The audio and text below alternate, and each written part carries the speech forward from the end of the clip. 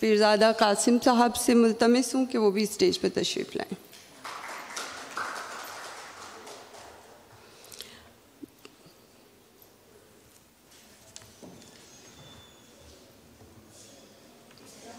Arts council में ये भी कुछ अरसे से सिलसिला शुरू हुआ कि एक ही माह में सालगिरह मनाने वाले शोरा को हम मधु करते रहे और उनके साथ उनकी सालगिरह यहाँ मनाई, केक काटे और उनसे कलाम भी सुना।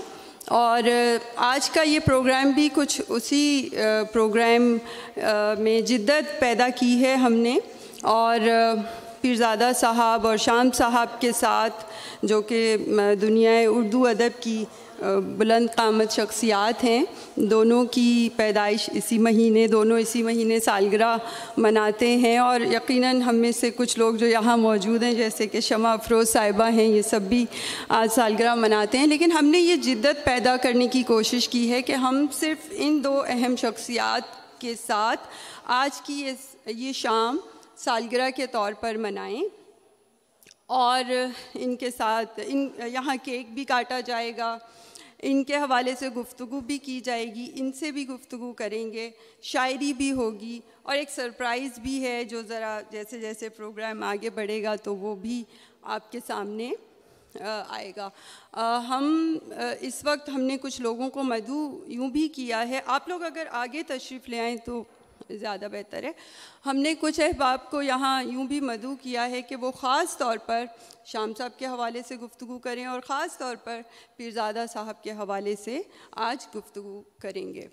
तो शाम साहब चूँकि सीनियर हैं 1943 1943 फरवरी 5 फरवरी को चालीस ओके 1940 में 5 फरवरी 1940 में राजपुरा पटियाला में आपकी पैदाइश मकाम पैदाइश है। सात बरस की उम्र में आपने सफ़र किया हिजरत की अपने पेरेंट्स के साथ पाकिस्तान आए और अल्लाह का ये बहुत बड़ा एहसान था कि शाम साहब पाकिस्तान आ गए। उस वक्त से लेके अब तक आप आ, सोचते हैं आप लिखते हैं आप बोलते हैं आपकी शख्सियत के कई हवाले हैं, आपके तारफ़ के कई हवाले हैं, आप सहाफ़ी हैं, नामवर सहाफ़ी हैं, आपकी खदमात अस्सी के अस्सी बरस, एटी थ्री बल्कि 84 चौरासी बरस की उम्र तक आपने कई नस्लों को परवान चढ़ाया। आपने, अगर हम देखें कि सहाफ़त में जो मकाम उनका है तो आपके सामने है, जंग, अखबार जहाँ कॉलम्स जो उनके हैं। अगर हम कॉलम्स पे भी नज़र डालें तो हमें लगता है कि कोई सरसरी बात हमारे सामने नहीं है। एक साहिब नज़र शख्सियत हैं और एक दानश्वर हैं जो जिनको मुल्क की फ़िक्र है, मुल्क के पाकिस्तान के उतार चढ़ाव पर उनकी गहरी नज़र है। दुनिया भर की समाजियात, सियासियात, अदबियात पर गहरी नज़र रखते हैं। और आज हमारे दरमियान मौजूद है। मैं अगर उन पर गुफ्तु करना चाहूँ बहसीत शायर अब उनके नावल भी अभी सामने आया। ख़ुद नविश्त उन्होंने लिखी 860 सफ़ात पर मुश्तमिल शमा अफरोज़ ने पढ़ी है और अभी मैंने ख़त्म नहीं की, मैं उस पढ़ रही हूँ। तो अगर हम, मैं अगर उन पर बात करना चाहूँ तो शायद मैं कई घंटे गुफ्तु कर सकती हूँ, लेकिन इस वक्त मुझे सिर्फ़ निज़ामत करनी है तो मैं दावत दूँगी डॉक्टर शमा अफरोज़ साहिबा को जो कि कराची यूनिवर्सिटी में दरस व तदरीस से वाबस्ता हैं। लिखने से ज़्यादा, पढ़ने को अहमियत देती हैं। हम कभी कभार उन्हें गुफ्तु के लिए मदू करते हैं। तो आज हमारे दरमियान मौजूद हैं और शाम साहब पर आज वो गुफ्तु फरमाएँगी। तो शमा अफरोज़ साहिबा, आपकी तालियों में।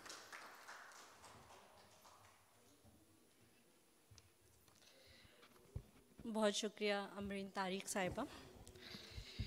और ये हमारे लिए एजाज़ की बात है कि आज पीरज़ादा कासिम साहब और महमूद शाम साहब के दरमियान हम मौजूद हैं और गुफ्तु फरमा रहे हैं। आप और हम मोहम्मद तारिक महमूद साहब को महमूद शाम साहब के नाम से जानते हैं। शायर अदीब और तख्लीक कार की एक ज़ाहरी शख्सियत होती है।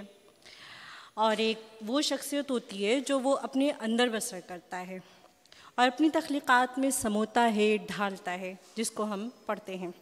महमूद शाम साहब हमारे अहद के एक नामवर, हम जहद, हम सिफत, कद आवर, नई नस्ल के लिए एक आइडियल शख्सियत है। इनकी शख्सियत के कई हवाले हैं और हर हवाला एक मोतबर हवाला है। महमूद शाम साहब पाँच फरवरी 1940 को बरतानवी हिंदुस्तान में पैदा हुए। क़्याम पाकिस्तान के बाद जंग में आपने क़याम किया और इब्तदाई तालीम वहीं हासिल की। इसके बाद लाहौर शहर का रुख किया। वहाँ से उन्होंने एम ए फ़लसफ़ा, इसके अलावा अंग्रेज़ी अदब, फ़ारसी अदब में भी डिग्री हासिल की। बरतानवी हिंदुस्तान से लेकर क़याम पाकिस्तान तक और क़याम पाकिस्तान से लेकर ताहाल सियासी और समाजी सतह पर रुनमा होने वाले वाक़ात व हादसा आपकी तख्लीक़ात के अहम मौजूद में से हैं। महमूद शाम साहब सहाफ़ी भी हैं, मुतरजम भी हैं, शायर भी हैं नसर नगार भी हैं, सफ़रनामा भी इन्होंने बहुत लिखे, नक़ाद की हैसियत से भी आप देखते हैं। तजियाकार भी हैं कॉलम निगार भी हैं, मुदीर भी हैं और बच्चों के शायर भी हैं अहद हाजिर के दानश्वर भी हैं। गरज़ हर लम्हा आप एक फ़ाल शख्सियत हैं।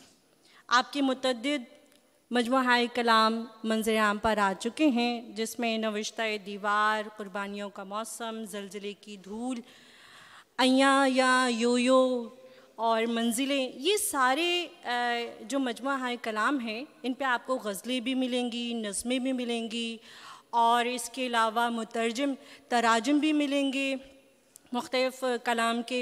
इसके अलावा इन्होंने यूरोपी, यूरोपियन शायरों के कलाम के तर्जुमे भी किए हैं, जो यकीनन उस वक्त इनको शिकवा था कि उनके कलाम, यानी तर्जुमे को अहमियत नहीं दी जा रही है या पढ़े नहीं जा रहे, लेकिन आज हम देखते हैं कि वो आम जो पढ़ने वाले हैं, नई नस्ल है, उनको बहुत तवज्जो से पढ़ती है। शाम साहब गज़ल और नज़म दोनों के शायर हैं।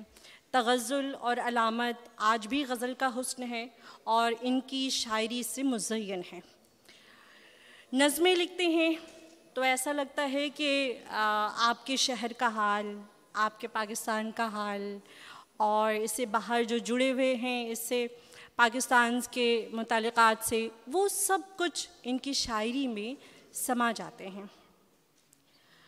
चूँकि दुनिया की तारीख़ का मताल हम शायर के हवाले से भी करते हैं, जिसमें तारीख़, जज्बात और एहसास और ख्वाहिशात के साथ साथ अपने अकदार की भी ज़ामीन होती है। ये यकीनन वो तारीख़ नहीं होती है, जैसे, जिसे हम इंसान के ख़्याल को, उसके एहसास को निकाल कर बात करते हैं। यानी वाक़ाती सतह पर बात की जाती है। ये वैसी तो नहीं होती, लेकिन इससे, दूसरे रुख से, जब हम उस माशरे के जहनी सतह, कलबी सतह को जानना चाहें तो हम शायरी का मताल करते हैं और महमूद शाम साहब की शायरी इससे मुबर्रा हरगिज़ नहीं है। मशरक़ मगरब, तकसीम हिंद, इससे कबल, इसके बाद अहम वाक़ात और हादसा हमें शाम साहब की शायरी में मिलते हैं, उसके गहरे असरात मिलते हैं।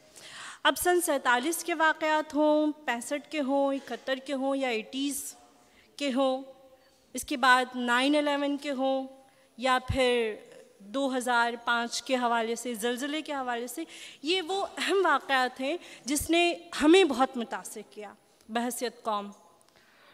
और इन सब का ज़िक्र एक फ़लसफ़ियाना और फ़लसफ़ा ज़िंदगी के साथ इनकी शायरी में मौजूद है। गरज़, हमें यह भी कहना चाहिए कि कोविड के हवाले से भी कि हमने उस तरह की ज़िंदगी गुजारी, एक ऐसा दौर गुजारा जो हम महसूर हो के रह गए अपने घर में किसी से मिलना जुलना या इस तरह की पाबंदियाँ थीं तो वो रंग भी हमें इनके नावल में मिलता है।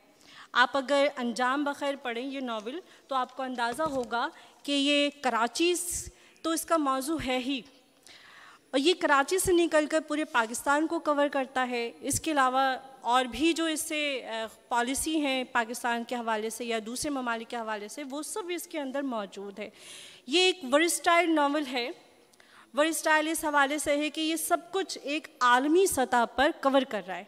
जिसको आप देखेंगे एक सहाफ़ी की नज़र से कि ये किस तरह से आपको ज़मीन से ऊपर ले जाता है और ये एक मतदल होकर एक तोज़ुन के साथ, यानी दूसरी आँख से आपको दिखाता है कि पाकिस्तान और इसमें रहने वाले लोग किन मुसीबतों से या मसाइब, किस तरह के मसाइब झेल रहे हैं। इस नावल से पहले शब बखैर। ये नावल भी इन्होंने पहले ही लिखा, लेकिन ये एक तरह से तजुबाती सतह पर अगर हम देखें तो मुकालमाती अंदाज में इन्होंने ये नावल लिखा है। और मुकालमाती अंदाज में नावल लिखना यकीनन उस तरह का अमल नहीं होता कि आप बयान करते चले जाएँ और सामने वाला उसको पढ़ता चला जाए। मुकालमे ऐसे होते हैं कि बहुत सारी बातें तशनगी रह जाती है कि उसने बयान नहीं किया। लेकिन आप अज खुद सोच रहे होते हैं कि यहाँ क्या चीज़ें रह गई। तो ये इस तरह से बहुत अहम नावल है, अगर तजबाती सतह पे देखा जाए। अंजाम बखैर इस हवाले से एक तकरीबी पजीराई डॉक्टर जमीर जालबी लाइब्रेरी में मनद हुई थी और हम भी वहाँ मौजूद थे। तकरीबी पजीराई में बिलाशुबा वो एक शानदार तकरीब थी। अक्सर देखा गया है कि एक सहाफ़ी का लिखा हुआ जो नावल होता है, वो यानी फ़िक्शन भांत भांत की सैर करवाता है। क्योंकि उसने उन वाक़ात को अपनी नज़र से और उसमें बहुत तहकीक की होती है और जानने की कोशिश करता है कि आखिर इसमें हकीकत क्या है। तो इस तरह के वो जो ज़ाती तजुर्बात हैं, वो इनके बहुत वकी होते हैं। इसलिए हम समझते हैं कि जब एक सहाफ़ी नावल लिखता है तो वो दूसरे नावल नगारों से यकसर मुख्तलिफ़ ज़रूर होता है। तो इस हवाले से अंजाम बखैर एक अहम नावल है, शब बखैर एक अहम नावल है। महमूद शाम साहब ने बहुत सी पाबंदियाँ भी बर्दाश्त की हैं। और इसके बावजूद इन्होंने वही लिखा जो इन्होंने सही समझा। महमूद शाम साहब, अपने नज़रिए के साथ ज़िंदा हैं और नज़रियों को कायम रखना, नज़रियों पे कायम रहना, सोच, ख्याल, गौर, फ़िक्र करना और ये इस तरह के मरहले होते हैं जो ज़ाती सतह पर तय होते हैं और फिर यही नज़रिए ज़िंदगी बसर करने पे मजबूर करते हैं। तो आज हम देखते हैं कि शाम साहब आज भी कोई कॉलम लिखते हैं तो वो नज़रिए नज़रिए की अक्कासी ज़रूर करते हैं। हाल ही में आ, एक ख़ुद नविश्त शाम बखैर ये किताब शाया हुई है और एक अहम किताब है हमारे यहाँ बायोग्राफ़ी पढ़ने का रुझान ज़रा कम कम ही नज़र आता है अवामी सतह पर।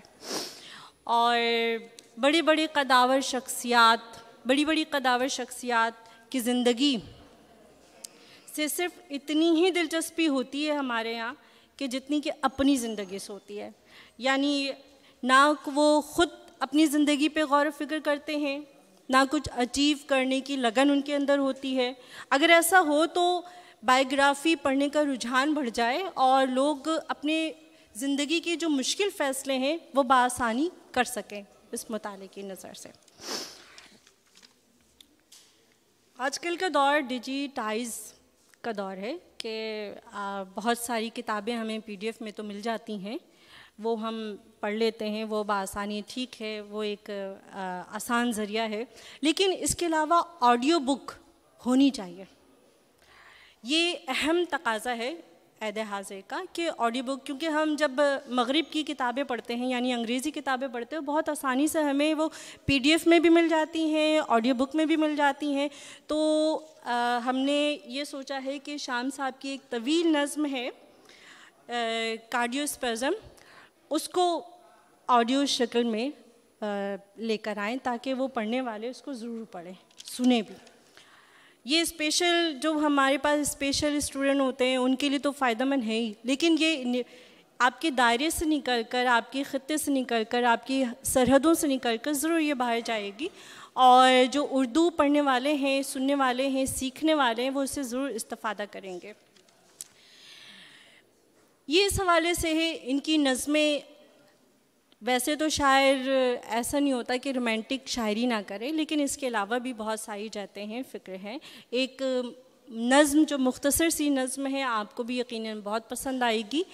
और एहसास, खूबसूरत एहसास से मुजैन नज़म है। मैं आपकी समातों की नज़र करती हूँ कि फूल, बेटियाँ फूल हैं। फूल जब शाख से कटता है, बिखर जाता है। पत्तियाँ सूखती हैं टूट के उड़ जाती हैं। बेटियाँ फूल हैं। माँ बाप की शाखों पे जन्म लेती हैं। माँ की आँखों की चमक बनती हैं। बाप के दिल का सुकून होती है। घर को जन्नत सा बना देती है। हर कदम प्यार बिछा देती है। जब बिछड़ने की घड़ी आती है, गम के रंगों में खुशी लाती है। एक घर में तो उतरती है उदासी लेकिन दूसरे घर के संवरने का यकीन होता है। बेटियाँ फूल हैं, एक शाख नई कट, एक शाख नए, नई कटती हैं मगर सूखती हैं ना कभी टूटती हैं। एक नई शाख पे कुछ और नए फूल खिला देती हैं। बेटियाँ फूल हैं। ये इनकी नज़म है। और गज़ल के चंद अशार भी मुलाजा कीजिए कि शाम साहब कहते हैं कि, लिख अपनी डायरी में कभी मेरा नाम भी, लिख अपनी डायरी में कभी मेरा नाम भी, उन रंग रंग लफ्ज़ों में एक सादा नाम भी। दिन थे कि तेरी कार का नंबर भी याद था, अब है कि हमको भूल गया अपना नाम भी। महमूद शाम पूछते हैं कि वो कौन है? तुम ही कहो कि होता है खुशबू का नाम भी। अच्छा शाम साहब वैसे तो बहर में ही शायरी करते हैं वज्रम अजान बहूर का ख्याल रखते हैं लेकिन नसर नज़म के हवाले से कहते हैं कि ये मसला ऐसा है कि मैं इसको शायरी नहीं मानता। बहरहाल तो आ, शाम साहब अवार्ड पर यकीन रखते हैं अवार्ड नहीं लेते रिवॉर्ड पे यकीन रखते हैं। हुकूमत पाकिस्तान ने प्राइड ऑफ़ परफॉर्मेंस 2010 में इनको दिया। आखिर में शाम साहब से एक सवाल है कि उन्होंने अपने इब्तदाई दौर ही में आ, सरकारी अवार्ड या किसी भी इदारे से कोई अवार्ड वसूल करना क्यों तर्क कर दिया क्यों मना कर दिया? तो ऐसा क्यों किया था आपने? शुक्रिया।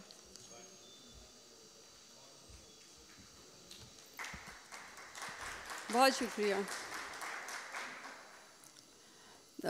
एक अहम बात जो मैं ऐड करना चाहूँगी, शमा अफरोज़ ने यहाँ बहुत शानदार गुफ्तु की। शाम साहब के हवाले से एक बहुत ज़रूरी बात आप सबको मालूम भी है, फिर भी मैं दोहराना चाहती हूँ कि आपने ख़वातीन के मसावी हकूक़ के लिए बहुत काम किया और वुमेन एम्पावरमेंट के लिए बहुत मेहनत की। जब सहाफ़त में अखबारी इदारों में काम करते थे तो वहाँ भी उन्होंने ख़वातीन को जहाँ जहाँ नुमाइंदी नुमाइंदगी दिला सकते थे वो दिलाई। और एक अहम बात इनकी तक, जो अभी किताब अंजाम बखैर खुद नविश्त की जो तकरीबन रूनुमाई हुई जमील जालिबी लाइब्रेरी में वहाँ पर भी ये बात देखने में आई सामने आई कि जो मुकर्रीन थे उसमें तनासब बराबर था चार ख़वातीन और चार हजरात। तो इसके लिए भरपूर तालियाँ होनी चाहिए। सामिन आज का ये प्रोग्राम आ, सदर आर्ट्स काउंसिल अहमद शाह साहब की खसूसी हिदायत पर मेंबर लाइजन कमेटी की जानब से आपकी खिदमत में पेश किया जा रहा है जिसके चेयरमैन अरशद बुखारी साहब हैं, उनकी ज़ाती दिलचस्पी भी इसमें शामिल थी। और ज़ाहिर है शकील ख़ान साहब जो इतने अहम इदारे में इंतज़ाम संभालते हैं तो आज का ये प्रोग्राम उनकी निगरानी के बग़ैर पाए तकमील तक नहीं पहुँच सकता था। आज हम यहाँ नहीं बैठ सकते थे तो उनका शुक्रिया, वो हमारे साथ मौजूद हैं यहाँ। पीरज़ादा कासिम साहब इनके हवाले से हम अपने अगले मुकर को बुला मुकर को बुलाने से पहले मैं ये ज़रूर कहना चाहती हूँ कि वो इस वक्त प्रोफेसर एमरीटस के अहदे पर फाइज हैं। ये वो अहदा होता है किसी भी प्रोफेसर के लिए कि उससे बड़ा कोई और प्रोफेसर नहीं या वो सबसे बड़े प्रोफेसर हैं अपनी फ़ील्ड में। 1960 की दहाई से वो शेर कह रहे हैं। आ, शायद 1962 में उन्होंने बज़म तलबा में जब गज़ल पढ़ी तो उन्हें पहला इनाम मिला। ये मुझे हाल ही में पता चला इनके कोलीग से आ, मुस्लिम अलवी साहब से। और उन्होंने इनकी मौजूदगी में ये बात हमें बताई तो बेहद खुशी हुई। आ, इनकी तारीख़ पैदाइश 8 फरवरी 1943 दिल्ली में पैदा हुए। और इस वक्त पूरी दुनिया में 1960 में तो इन्होंने शायरी शुरू की उस दिहाई में, लेकिन पूरी दुनिया में इन्होंने अदब और शेर व अदब के हवाले से सफ़र किया। जहाँ भी गए, इनकी शायरी के हवाले से तो गुफ्तु होती ही रही, गज़ल, नज़में, लेकिन इनकी शख्सियत शख्सियत की नफासत के किस्से भी हम सुनते आए जहाँ भी गए। तो ये भी एक बहुत अहम बात है कि हमारे मुल्क से कोई शायर हमारी हमारे लोगों की नुमाइंदगी करे और अपनी नफीस, शख्सियत के साथ करे। ये एक बहुत अहम बात है। आप फिज़ियोलॉजी के प्रोफेसर हैं। कराची में कई बड़े तालीमी इदारों के, जैसे कराची यूनिवर्सिटी है, उर्दू यूनिवर्सिटी के पहले वाइस चांसलर थे। ज़ियाउद्दीन यूनिवर्सिटी, जिससे मैं भी अब मुंसलिक हूँ, वहाँ भी वाइस चांसलर रहे और एक से ज़्यादा मरतबा इनको ये टिनोर इस पर इनको फ़ाइज़ ये रहे और अपनी खदमात अंजाम दी। आ, मैं ये ज़रूर यहाँ बताना चाहती हूँ कि जब ज़ियाउद्दीन यूनिवर्सिटी में मुझे कभी सीढ़ियाँ उतरते हुए या कहीं आते जाते फिर ज़्यादा साहब नज़र आते हैं तो मुझे बेानतहा खुशी होती है सिर्फ़ इस बात की कि मैं इन, इनको जानती हूँ। और मैं रुक के इनसे सलाम दुआ करती हूँ तो लोग मुझसे वहाँ पूछते हैं डॉक्टर्स कि ये कौन है और आप कैसे जानती हैं? तो क्योंकि कई डॉक्टर्स जो होते हैं, उनका शेर व अदब से ताल्लुक़ नहीं होता तो ये मेरे लिए बहुत खुशबी की बात है। तो जो शख्सियत हमारे साथ मौजूद हैं, बात करना चाहूँ तो मैं फिरज़ादा साहब के हवाले से बहुत कुछ कहूँगी, लेकिन जैसा मैंने पहले कहा कि चूँकि मेरा काम सिर्फ़ निज़ामत है तो मैं गुफ्तु के लिए जिन अहबाब को यहाँ मैंने मदू किया है आर्ट्स काउंसिल की जानब से, जो हमारे साथ मौजूद हैं। हमारे अगले मुकर हैं, हमारे बहुत ही मुआज़ खालिद मुइन साहब। उनकी तारफ़ के बहुत हवा, कई हवाले हैं, सहाफ़ी हैं, शायर हैं, नावल नगार हैं, नसर नगार हैं।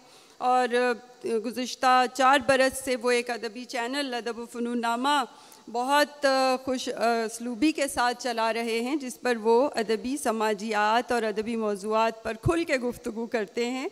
और शायद कुछ लोग इस बात से डरे भी रहते हैं कि न जाने किस बात की वीडियो बन जाए।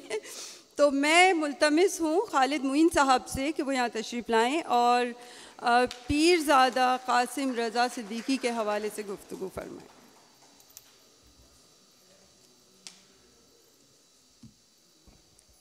बहुत शुक्रिया, डॉक्टर हिना अम्बरी तारिक साहबा। एक तो ये पहली बात कि आर्ट्स काउंसिल ने ये एक बहुत खूबसूरत प्रोग्राम तरतीब दिया है और एक रिवायती सूरत हाल से कुछ थोड़ा सा मुख्तलिफ़ करने की भी कोशिश की है। नौजवान नस्ल को भी इसमें शिरकत का मौका दिया है और इस तरह इस प्रोग्राम की इनफरादियत जो है, वो दो चंद हो गई है। तो आर्ट्स काउंसिल को भी बहुत मुबारकबाद। और, शकील ख़ान साहब का भी इसमें ज़ाहिर है कि बहुत अहम किरदार है। और डॉक्टर हिना अम्बरी तारिक साहिबा ही ने ये डिज़ाइन किया प्रोग्राम तो ये बहुत उम्दा प्रोग्राम। और, ये दोनों शख्सियात इतफ़ाक़ से डॉक्टर पीरज़ादा कासिम साहब और महमूद शाम साहब, ये हम सब की महबूब शख्सियात हैं और ज़ाती तौर पर भी ये दोनों शख्सियात ऐसी हैं जिनसे साल साल का एक तारुफ़ है क़ुरबतें हैं और बहुत कुछ सीखने का मौका मिला है इन दोनों शख्सियात से। आज क्योंकि डॉक्टर पीरज़दा रज़ा सिद्दीकी साहब पर गुफ्तु थोड़ी सी मैं करूँगा तो 8 फरवरी 1943 को आपकी पैदाइश हुई और दिल्ली के एक इलमी और अदबी घराने में हुई। बहुत सी जगह इंटरनेट पर आठ जून भी उनकी तारीख़ पैदाइश दर्ज है, लेकिन आठ फरवरी मेरे ख्याल में करेक्ट है। तो आप लोग भी इसको जहन में जहन नशी कर लीजिए। तकसीम हिंद के फ़ौर बाद डॉक्टर साहब अपने वालदेन के साथ और पाँच भाई और एक बहन तो इनके साथ जो है वो आ गए थे कराची में ही और फिर यहीं क़्याम उनका रहा। एमएससी करने के बाद न्यू कैसल यूनिवर्सिटी बरतानिया से उन्होंने पीएचडी की डिग्री हासिल की और फिर एक सच्चे नौजवान पुरज़म मुहब वतन नौजवान की तरह वो लौटे। यकीनन बरतानिया में भी और पूरी दुनिया में उनके लिए मौाक़े मौजूद थे। आ, लेकिन वो यहीं कराची आए और फिर कराची यूनिवर्सिटी में पढ़ाना शुरू किया। कराची यूनिवर्सिटी से उनका इश्क है और कराची यूनिवर्सिटी के साथ आ, उनका एक बहुत तवील सिलसिला है। दरस व तदरीस का भी है मुख्तलिफ़ अहदे भी उनको वहाँ मिले जिसमें वो रजिस्ट्रार भी बने सिंडिकेट के रुकन भी बने मशीर अमूर तलबा भी रहे वो प्रो वाइस चांसलर भी रहे और फिर वाइस चांसलर भी बने और साल साल बहुत कामयाबी के साथ डॉक्टर साहब ने वो इससे अहदे को आगे बढ़ाया और बहुत खूबसूरती के साथ आगे बढ़ाया। इसलिए कि मैं समझता हूँ कि सारे दौर में बहुत कशीदा माहौल भी था और तलबा तंजीमें और उनके आपस की चपखलिश और बहुत सारे ऐसे मामला जिनसे बहुत ही सहल अंदाज में अपने करीने से डॉक्टर साहब अहदा बरा हुए विफाकी उर्दू यूनिवर्सिटी और ज़ियाउद्दीन यूनिवर्सिटी बताया है डॉक्टर साहबा ने कि वो वहाँ भी वाइस चांसलर रहे। और मैं तो ये समझता हूँ कि जो पूरी उर्दू दुनिया है, उसके भी वो वाइस चांसलर ही हैं।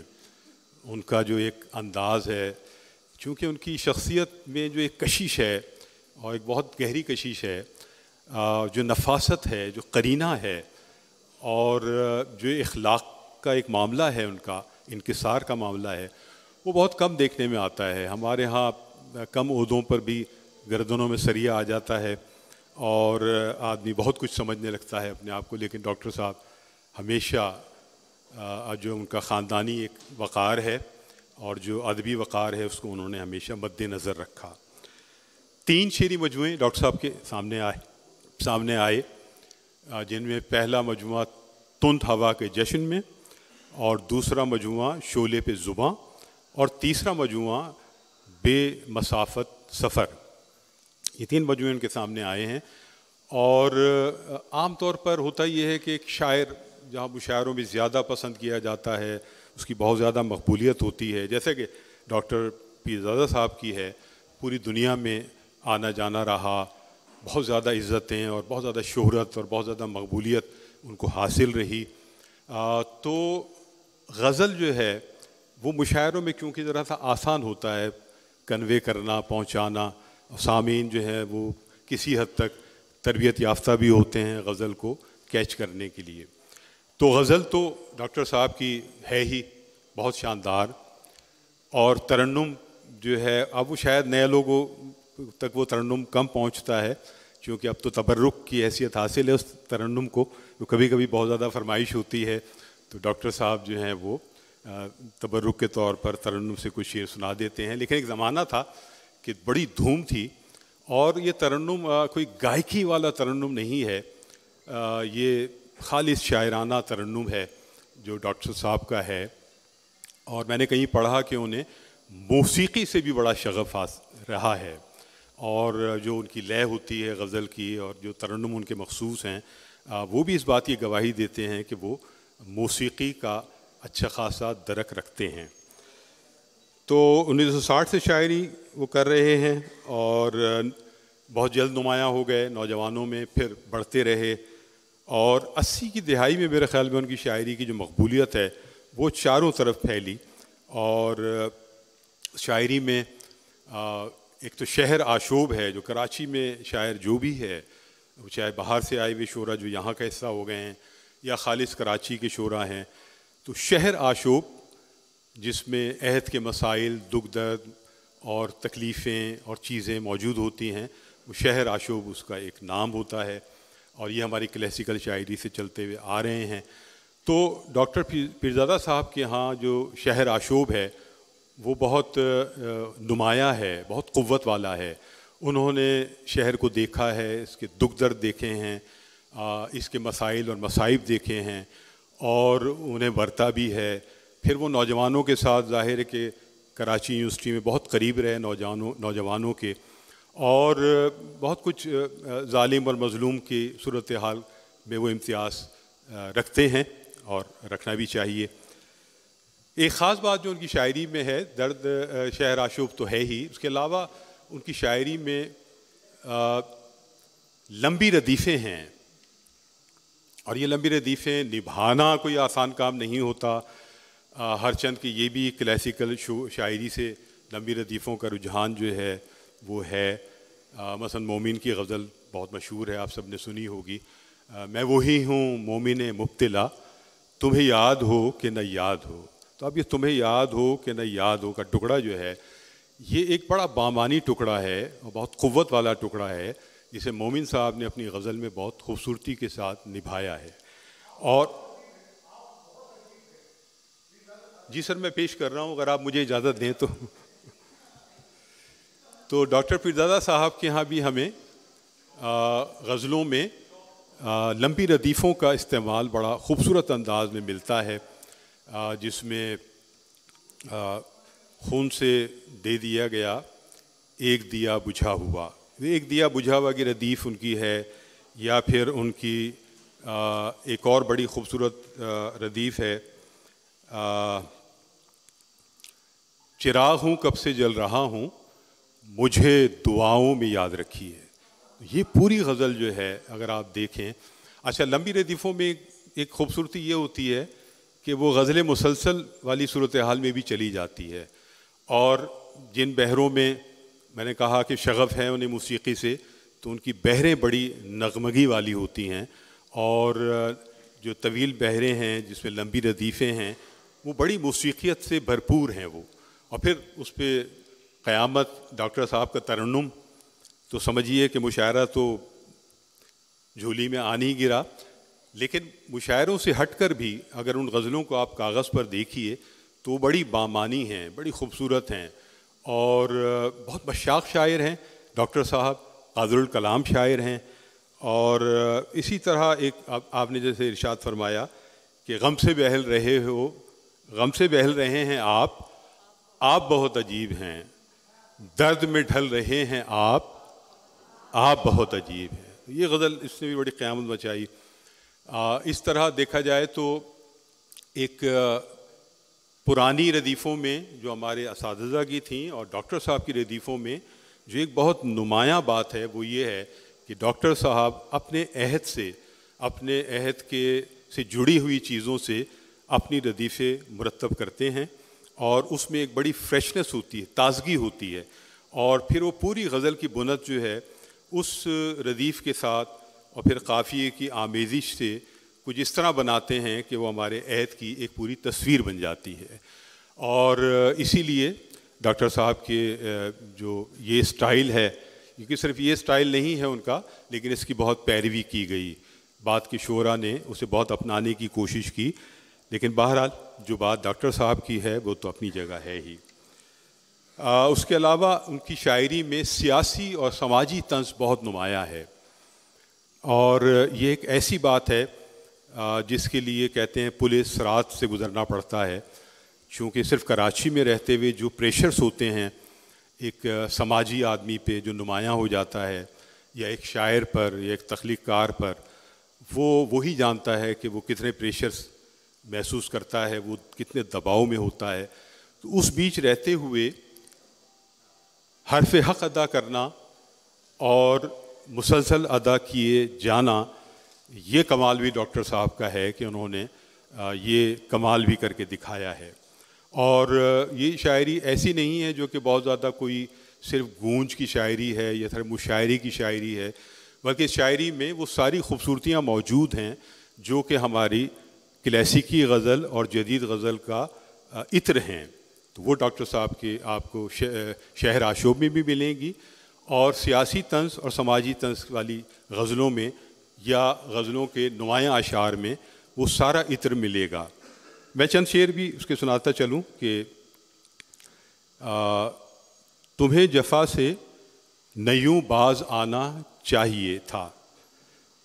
तुम्हें जफा से नयूं बाज आना चाहिए था। अभी कुछ और मेरा दिल दुखाना चाहिए था। अभी कुछ और मेरा दिल दुखाना चाहिए। क्या कहने हैं? और शहर, और ये शेर तो ऐसा है जो कि मेरे ख्याल में इसको एक आलमी शोहरत हासिल है। डॉक्टर साहब ने जब ये शेर कहा था और फिर जब शेर सुनाया होगा, लेकिन अब आज भी हम उसको पढ़ते हैं तो हमें अपने शहर की, अपने मुल्क की एक दुखी सूरत हाल नज़र आती है इसमें। और साहिबान इकतदार के शफाक रवैये भी नज़र आते हैं। वो शेर ये है कि शहर तलब करे अगर तुमसे इलाज तीरगी। साहिब इख्तियार हो, आग लगा दिया करो। शहर तलब करे अगर तुमसे इलाज तीरगी, साहिब इख्तियार हो, आग लगा दिया करो। और एक सज़ा और असीरों को सुना दी जाए। एक सज़ा और असीरों को सुना दी जाए, यानी अब जुर्म असीरी की सज़ा दी जाए। यानी अब जुर्म असीरी की सज़ा, ये कैसे बात पैदा की है? एक बहुत गहरी बात पैदा कर दी डॉक्टर साहब ने। क्या कहने हैं? और दस्ते नादीदा की तहकीक ज़रूरी है मगर। दस्ते, ऐसा हाथ जो कि गायब है, नहीं मालूम, और हम सबको मालूम भी है। तो दस्ते नादीदा की तहकीक ज़रूरी है मगर पहले जो आग लगी है, वो बुझा दी जाए। दस्ते नादीदा की तहकीक ज़रूरी है, मगर पहले जो आग लगी है, वो बुझा दी जाए। तो इसमें आपने एक एक ऐसा रवैया भी देखा, जिसमें जो हालात हैं वाक़यात हैं और उनकी सफाकियत है, उसके दरमियान एक तोज़ुन कायम करने की कोशिश भी डॉक्टर साहब हमेशा करते हैं। बहुत से लोगों का ख्याल है कि उनकी शायरी में बहुत ज़्यादा यासियत है, या बहुत ज़्यादा गम का बहुत ज़्यादा ऐलान है, या दुख हैं। तो मेरा ख्याल है कि ऐसा नहीं है। वो कहीं अगर इसका ज़िक्र करते भी हैं तो लेकिन उसमें खुश उम्मीदी और एक रजाइत हमेशा उनकी शायरी में मौजूद रही है। और डॉक्टर साहब जैसा आदमी कभी बहुत मायूस और दुखी हो भी नहीं सकता तो उन्होंने हमेशा अपनी शायरी में एक ऐसे बंद गली की तरफ़ ले जाने के बजाय रास्ते खोलने की कोशिश की है और रास्ते दिखाने की कोशिश की है। गज़ल पर तो ज़ाहिर है कि बात बहुत होती रहेगी। डॉक्टर साहब की गज़लें आपने सुनी भी हैं, तरन्नुम से भी, वैसे भी। उन गज़लों की जो ताजगी है, उनमें जो नुदरत है और एक तख्लीकी रवैया जो डॉक्टर साहब का है, हमेशा रहा है। और हम मुस्तकिल देखते हैं कि उसमें एक बढ़त मुस्तकिल नज़र आती है। उनका गिराफ हमेशा ऊपर की तरफ़ जाता हुआ नज़र आएगा आपको, कभी ऐसा नहीं कि ठहर गया या नीचे की तरफ़ आ गया, और ये एक बहुत बड़ी बात है, क्योंकि बहुत तवील रियाजत है डॉक्टर साहब की। लेकिन नज़मों पर कम बात हुई है डॉक्टर साहब की। ये मुझे एक गिला है, अपने आप से भी है, और बाकी लोगों से भी है कि उनकी नज़में बहुत कमाल की हैं। ये नज़में बहुत ज़्यादा तवील नहीं हैं इख्तसार के साथ हैं या दरमियाने दर्जे की हैं, लेकिन उनमें उनकी फ़िक्र बहुत ज़्यादा सामने आती है। ज़िंदगी के छोटे छोटे रवैयों, बातों बड़े बड़े मसाइल बड़े बड़े दुखों, और उन सब का किथारसिस वो नज़मों की सूरत में करते हैं। गज़ल में तो बहुत सारी बातें आप जिसे कहते हैं कि छुप जाती हैं, या आपके जो अलामतें इस्तारे और जो शायरी की ज़ुबान है, उसमें कहीं पीछे भी हो जाती हैं। लेकिन नज़म एक ऐसी चीज़ है कि जो सामने लाती है आपके पूरे ख्याल को और पूरी कैफियत को। अहमद शाह साहब तशीफ लाए हैं, इनके लिए बहुत ज़्यादा तालियाँ होनी चाहिए। बड़ी बात है कि टाइम निकाला है शाह साहब ने। मसरूफ़ तरीन आदमी हैं। तो नज़में जो हैं वो डॉक्टर साहब की बहुत काबिल तवज्जो और बहुत खूबसूरत हैं। और उन नज़मों के हवाले से ज़रूर बात करनी चाहिए नाकदीन को। और नौजवान नस्ल यहाँ बैठी हुई है, उसको भी उस पर भी गौर करना चाहिए। आप ये खांसी से मैं ये समझूँ कि टाइम हो गया है तो मैं थोड़ा सा एक नज़मों के छोटे, जो दो नज़में हैं मुख्तसर सी वो मैं सुनाता हूँ। ताकि आपको अंदाज़ा हो कि शायरी तो ज़ाहिर है कि उनकी है ही, गज़ल की सूरत में, लेकिन नज़मों में भी बहुत कमाल है। और एक आध शेर गज़ल का और भी ऐसा है जो कि मेरे ख्याल में दो शेर ऐसे हैं जो ज़रूर मैं सुनाना चाहूँगा। वो लिखते हैं कि, बहुत ज़रूरी है अहद नौ को जवाब देना। बहुत ज़रूरी है अहद नौ को जवाब देना। सो तीखे लहजे में बोलता हूँ, खफा नहीं हूँ। सो तीखे लहजे में बोलता हूँ, खफा नहीं हूँ। और वो कहते हैं कि सफ़र की इंतहा तक एक ताज़ा आस बाकी है। सफ़र की इंतहा तक एक ताज़ा आस बाकी है कि मैं ये मोड़ काटूं, कि मैं ये मोड़ काटूं, उस तरफ़ से तू निकल आए। कि मैं ये मोड़ काटूं, उस तरफ़ से तू निकल आए। तो ये जो बाकी शायरी के मौजूद हैं, जिसमें बड़ा तनवु है डॉक्टर साहब का, उसमें एक जमालियाती पहलू भी ऐसा है जो उन्होंने अपनी गज़लों में बरता है और बहुत कमाल अंदाज में बरता है। एक नज़म है उनकी मुख्तसर महक। अरसा तमन्ना में अहले दर्द की खुशबू इफ्तार रखती है, एतबार रखती है। ये ग्रोह गम आसार, ये ग्रोह गम आसार गम ब गम बहम होकर खुद से दूर होने तक, खुद से दूर होने तक गम से महके जाता है, खाली शीशियाँ जैसे इत्र की महकती हैं। मैं दूसरी नज़म को जो है वो छोड़ देता हूँ और गुफ्तु के लिए बहुत मवाद था, लेकिन ज़ाहिर है कि वक्त की कमी है और डॉक्टर हिना अमरी तारिक साहिबा से मुकाबला मैं इस मामले में कर सकता हूँ कि मैं भी कई घंटे डॉक्टर साहब और बिलशमुल शाम साहब पर भी गुफ्तु कर सकता हूँ। बहुत शुक्रिया जनाब। बहुत शुक्रिया। ज़ाहिर पीरजादा साहब और शाम साहब की शख्सियत है ही ऐसी कि उन पर जितनी भी गुफ्तु की जाए, कम है और हम सब लोग भी कर सकते हैं यकीनन। अहमद शाह साहब हमारे दरमियान मौजूद हैं, इस वक्त हॉल में तशरीफ़ लाए हैं और जैसा कि अभी खालिद मुइन साहब ने ही ज़िक्र किया कि आज का ये प्रोग्राम एक अलग तरह से डिज़ाइन किया गया और मैं ये कहना चाहती हूँ कि शाह साहब ने यहाँ पर कभी भी किसी नए टैलेंट को, नए आइडिया के साथ आगे आने से नहीं रोका और ये प्रोग्राम उसकी आपके सामने पेशकश है बिल्कुल और प्रोग्राम को आगे बढ़ाएँगे। और शाह साहब की मौजूदगी का फ़ायदा उठाते हुए हम इस वक्त चाहेंगे कि फूल पेश किए जाएँ हमारे मेहमानों को। तो शाह साहब, स्टेज पे तशरीफ़ लाइए और शायदा बिल्कुल होगी ऑफ़ कोर्स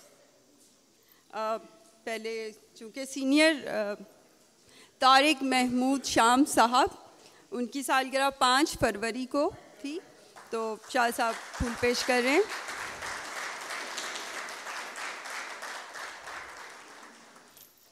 तशरीफ़ लाइए। बुखारी साहब, आप भी आइए। शकील खान साहब, आप भी तशरीफ़ लाइए। पीरजादा, डॉक्टर पीरजादा कासिम रज़ा सिद्दीकी साहब की सालगिरह आठ फरवरी को थी। तो मेंबर्स लाइजन कमेटी के चेयरमैन बुखारी साहब और यहाँ के डायरेक्टर शकील खान साहब आपके सामने। और इसके साथ ही केक कटिंग सेरेमनी भी अभी कर लेते हैं। तो शायदा असगर भाई, केक। हम भाभी से मुलतमस हैं कि आप भी स्टेज पे तशरीफ़ लाइए ताकि शाम साहब के साथ केक काटें।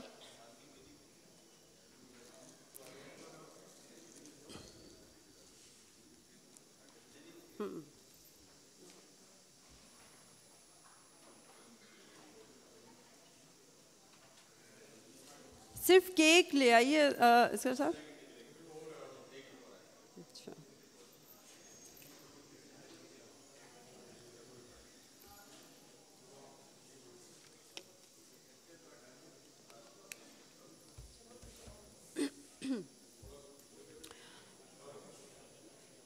मैं मुलतमस हूँ, शाम साहब से, पीरजादा साहब से, भाभी शाह साहब, शकील खान साहब, शमा अफरोज़ साहिबा, खालिद मोइन साहब, आप सब तशरीफ़ लाइए। और जो रेहाना रूही साहिबा।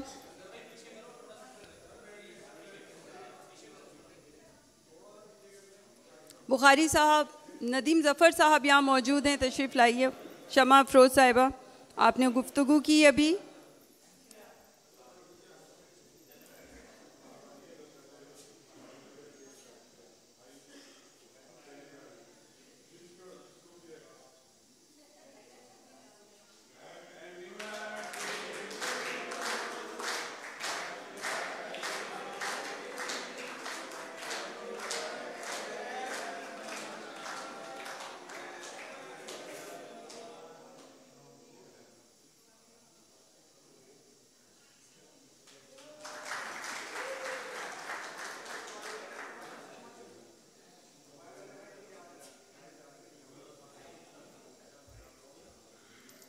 हमारे यहाँ यहाँ दो केक हैं, एक शाम साहब का और एक पीरजादा साहब के लिए तो अब पीरजादा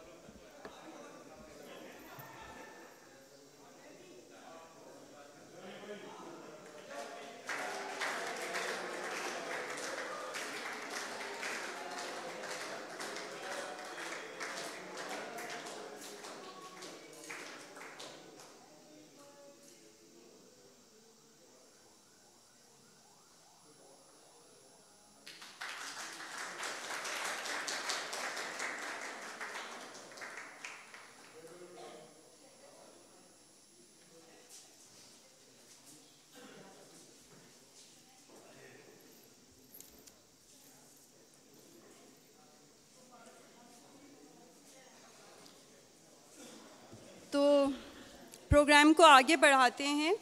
आप हमारे साथ जो सामीन यहाँ मौजूद हैं मैं ये बताना चाहती हूँ कि ये प्रोग्राम लाइव पूरी दुनिया में देखा जा रहा है। तो हमारे साथ बहुत सारे सामीन और नाजरीन ऑनलाइन भी मौजूद हैं। आ, मैं दोनों अहबाब पे चूँकि गुफ्तु हो चुकी है अब अब सरप्राइज़ जिसका मैंने शुरू में ज़िक्र किया था वो ये है कि हमने यहाँ आर्ट्स काउंसिल की जानब से चंद नौजवान शोरा मदू किए हैं। चूँकि शाम साहब और पीरजादा साहब दोनों का बहुत गहरा लगाव है नौजवानों के साथ वो बहुत ज़्यादा अप्रोचेबल हैं बहुत इन्वॉल्व रहते हैं नई नस्ल के साथ और ज़ाहिर है इन्होंने कई नस्लों को परवान चढ़ा चढ़ाया। तो इस वक्त जो नौजवान शोरा मौजूद हैं उनसे आ, मैंने ये दरख्वास्त की थी कि जो यहाँ कलाम पेश किया जाए वो पीरजादा साहब की ज़मीन हो या शाम साहब की ज़मीन में पेश किया जाए। क्योंकि हम इसी तरह उनको खराज तहसीन पेश कर सकते हैं। हम इन्हें सेलिब्रेट करने के लिए यहाँ मौजूद हैं और यही ट्रिब्यूट नई नस्ल उनको पेश कर सकती है। तो इस सिलसिले में सबसे पहले मैं ही कुछ कलाम, कुछ अशार मैंने कोशिश की है। तब आजमाई की और ये एक अदना सी जसारत, समझिए। शाम साहब का शेर है, दिल का अजीब हाल है तेरी सदा के बाद, जैसे कि आसमान का मंज़र घटा के बाद। तो मैंने चार मिसरे कहने की जसारत आपके सामने। क्या क्या न टूटे बुत यहाँ मेरी अना के बाद क्या क्या न टूटे बुत यहाँ मेरी अना के बाद दिल को बड़ा मलाल है इस इंतहा के बाद। दिल को बड़ा मलाल है इस इंतहा के बाद। और एक रंज राय गानी मुसलसल रही है साथ। एक रंज राय गानी मुसलसल रही है साथ। और खौफ बढ़ गया मेरा अहदो वफा के बाद। और खौफ बढ़ गया मेरा अहदो वफा के बाद। और मैंने नाजमा की हैसियत से पीरजादा साहब की ज़मीन में भी तबाह आजमाई की कोशिश की है तो शेर इनका है, अया हम पे न होने की खुशी होने लगी है। अया हम पर न होने की खुशी होने लगी है। दिए में एक नई सी रोशनी होने लगी है। दिए में एक नई सी रोशनी होने लगी है। चंद अशार जुनून इश्क में थोड़ी कमी होने लगी है कि शहर दिल में भी अब खामशी होने लगी है। कि शहर दिल में भी अब खामोशी होने लगी है और सिमट आए सफ़र के दुख मेरे शेरों में जब से। सिमट आए सफ़र के दुख मेरे शेरों में जब से, कहानी हिजरतों की फिर नई होने लगी है। कहानी हिजरतों की फिर नई होने लगी है और अजब दर आई है ये बेदिली सी ज़िंदगी में। अजब दर आई है ये बेदिली सी ज़िंदगी में बहुत बेरंग सी हर शाम भी होने लगी है। बहुत बेरंग सी हर शाम भी होने लगी है और यकीनन कारवां गुज़रा यहाँ से खुशबुओं का। यकीनन कारवां गुज़रा यहाँ से खुशबुओं का फ़ज़ाए सरखुशी में शायरी होने लगी है। फ़ज़ाए सरखुशी में शायरी होने लगी है और पुकारा है तेरी यादों ने अब की बार ऐसे। पुकारा है तेरी यादों ने अब की बार ऐसे कि फिर मौसम की भी वारफ्तगी होने लगी है कि फिर मौसम की भी वारफ्तगी होने लगी है। अब ये इन चंद अशार के साथ आ, मेरा तो बिल्कुल दिल नहीं कर रहा कि मैं कुछ और आप सबके सामने पेश करूँ। प्रोग्राम को आगे बढ़ाते हैं। शमा अगर आप आना चाहें। तो मैं शमा अफरोज़ चूँकि बहुत अच्छी शायरा भी हैं तो देखते हैं कि इन्होंने क्या तवा आजमाई की है, तशरीफ़ लाइए तारुफ मैं इनका इससे पहले पेश कर चुकी हूँ कि कराची यूनिवर्सिटी में तदरीस से वाबस्ता हैं। थैंक यू शुक्रिया। असल में मैं शाम साहब और पीरजादा साहब के मौजूद जो शेरी मौजूद है, उसके तहत मैंने चंद अशार कहे हैं। तो वो आपकी नज़र कर रही हूँ कि सजता है हुस्न अदल का बाज़ार आजकल। सजता है हुस्न अदल का बाज़ार आजकल।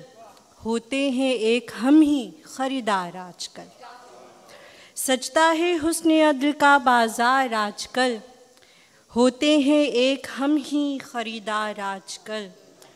मातम कुना है शहर मेरा रोज़ रोज़ क्यों? मातम कुना है शहर मेरा रोज़ रोज़ क्यों? क्या खो गए हैं गम के तरफदार आजकल? मातम कुना है शहर मेरा रोज़ रोज़ क्यों? क्या खो गए हैं गम के तरफदार आजकल? देखे हवा ने फूल बिखरते चमन चमन। देखे हवा ने फूल बिखरते चमन चमन, फिरती है गम का दिल पे लिए बार आजकल आसार आता है घिर के अब्र सरे दश्त आरज़ू। आता है घिर के अब्र सरे दश्त आरज़ू। कुछ कम नहीं फरेब के आसार आजकल कुछ कम नहीं फरेब के आसार आजकल तख्लीक को भी जिनसे तजारत बना दिया। तख्लीक को भी जिनसे तजारत बना दिया, बेजार अपने फ़न से हैं फ़नकार आजकल। और ये गज़ल मज़ीद समात कीजिए कि सब सिलसिले जुनू के ख़तरनाक हो गए। सब सिलसिले जुनू के ख़तरनाक हो गए। भड़की वो आग इश्क में बस खाक हो गए। साहिल की चाह में तो किनारे खड़े खड़े, साहिल की चाह में तो किनारे खड़े खड़े हम वक्त के शराब में तैराक हो गए। मेरी किताब के जो वरक थे सदा बने, मेरी किताब के जो वरक थे सदा बने, फिर देखते ही देखते बेबाक हो गए। देखा धनक ने हमको कुछ इस जाविये के साथ देखा धनक ने हमको कुछ इस जाविये के साथ उसकी नज़र के रंग ही पोशाक हो गए। फिर यूँ मिले कि जैसे कोई अजनबी थे हम, फिर यूँ मिले कि जैसे कोई अजनबी थे हम, दोनों तरफ़ दोनों तरफ़ ही दीदाए नमनाक हो गए। क्या है जो शमा बज़्म को रोशन न कर सकी? क्या है जो बज़्म को शमा रोशन न कर सक, क्या है जो शमा बज़्म को रोशन न कर सकी? कारे हवस में लोग तो चालाक हो गए। सब सिलसिले जुनू के ख़तरनाक हो गए। भड़की वो आगिश्क में बस खाक हो गए। शुक्रिया। टूटे हैं कैसे ख्वाहिशों के आइनों को देख? टूटे हैं कैसे ख्वाहिशों के आइनों को देख? पलकों की तह में बिखरी हुई किरचियों को देख।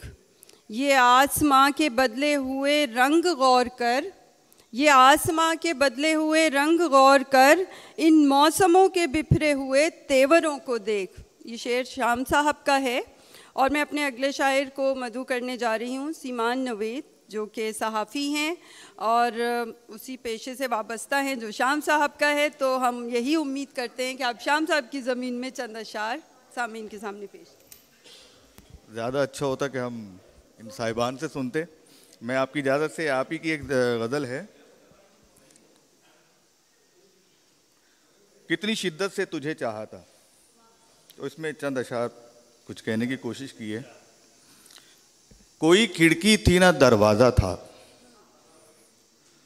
कोई खिड़की थी ना दरवाज़ा था। घर की घर पे वीरानी का अब साया था। कोई खिड़की थी ना दरवाज़ा था। घर पे वीरानी का अब साया था। और उसने मतलब इसका भी फूल देता था, न फल देता था। घर के आँगन में दरख्त ऐसा था। फूल देता था, न फल देता था। घर के आँगन में दरख्त ऐसा था। घर की दहलीज पे उम्मीदें थीं। घर की दहलीज पे उम्मीदें थीं, ताक में एक दिया रखा था। घर की दहलीज पे उम्मीदें थीं, ताक में एक दिया रखा था। सतह आप पे तस्वीर नुमा। सतह आप पे तस्वीर नुमा, आईना था कि मेरा चेहरा था।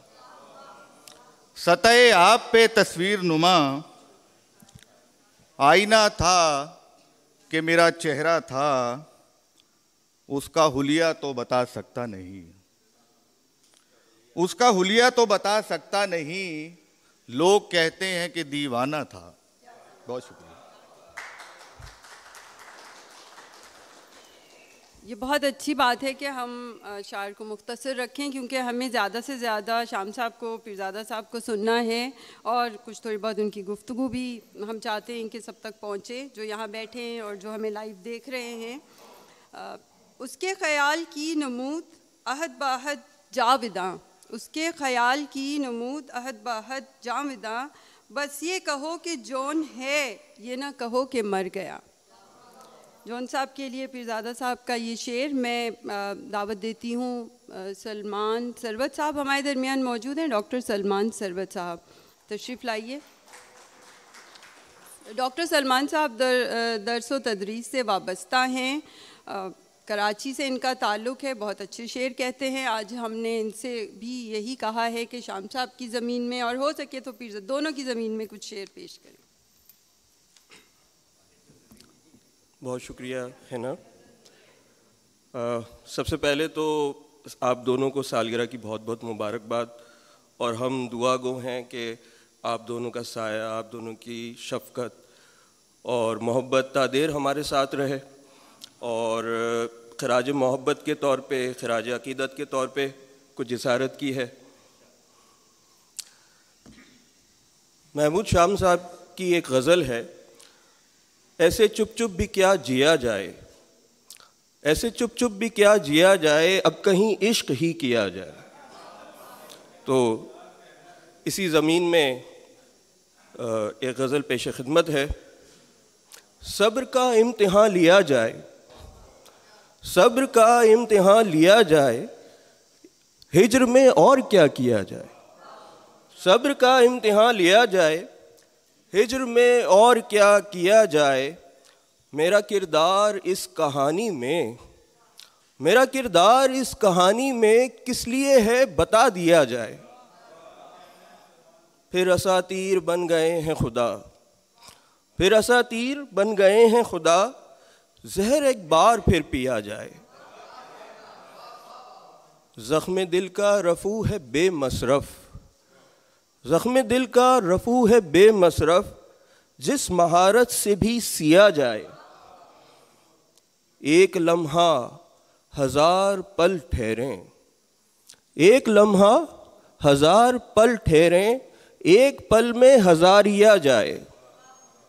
और आखिरी शेर है कि ज़िंदगी का खराज इतना है, ज़िंदगी का खराज इतना है, वालिहाना इसे जिया जाए। बहुत शुक्रिया। पीरजादा साहब की एक बहुत खूबसूरत गज़ल है, हमारी तरह कोई दूसरा हुआ भी नहीं। वो दर्द दिल में रखा है कि, वो दर्द दिल में रखा है जो ला दवा भी नहीं। तो इसी ज़मीन में और कोशिश ये की कि ज़मीन के साथ साथ कुछ फ़ज़ा भी रहे तो गिरहे लगाइए सर। उम्मीद है आपको पसंद आएँगे। और इस गज़ल का एक शेर तो मेरा ख्याल है आप सबने ज़रूर पढ़ा होगा कि मैं ऐसे शख्स को जिंदों में क्या शुमार करूँ? मैं ऐसे शख्स को जिंदों में क्या शुमार करूँ जो सोचता भी नहीं, ख्वाब देखता भी नहीं? तो सर, सभी को दूर किया जिनसे कुछ गिला भी नहीं। सभी को दूर किया जिनसे कुछ गिला भी नहीं उसे अज़ीज़ रखा जो हमारा था भी नहीं। सभी को दूर किया, जिनसे कुछ गिला भी नहीं, उसे अज़ीज़ रखा जो हमारा था भी नहीं।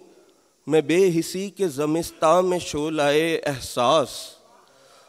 मैं बेहिसी के जमिस्ता में शोलाए एहसास कि रूह राख हुई और बदन जला भी नहीं। हमारे दौर का इंसान है मशीन सिफत।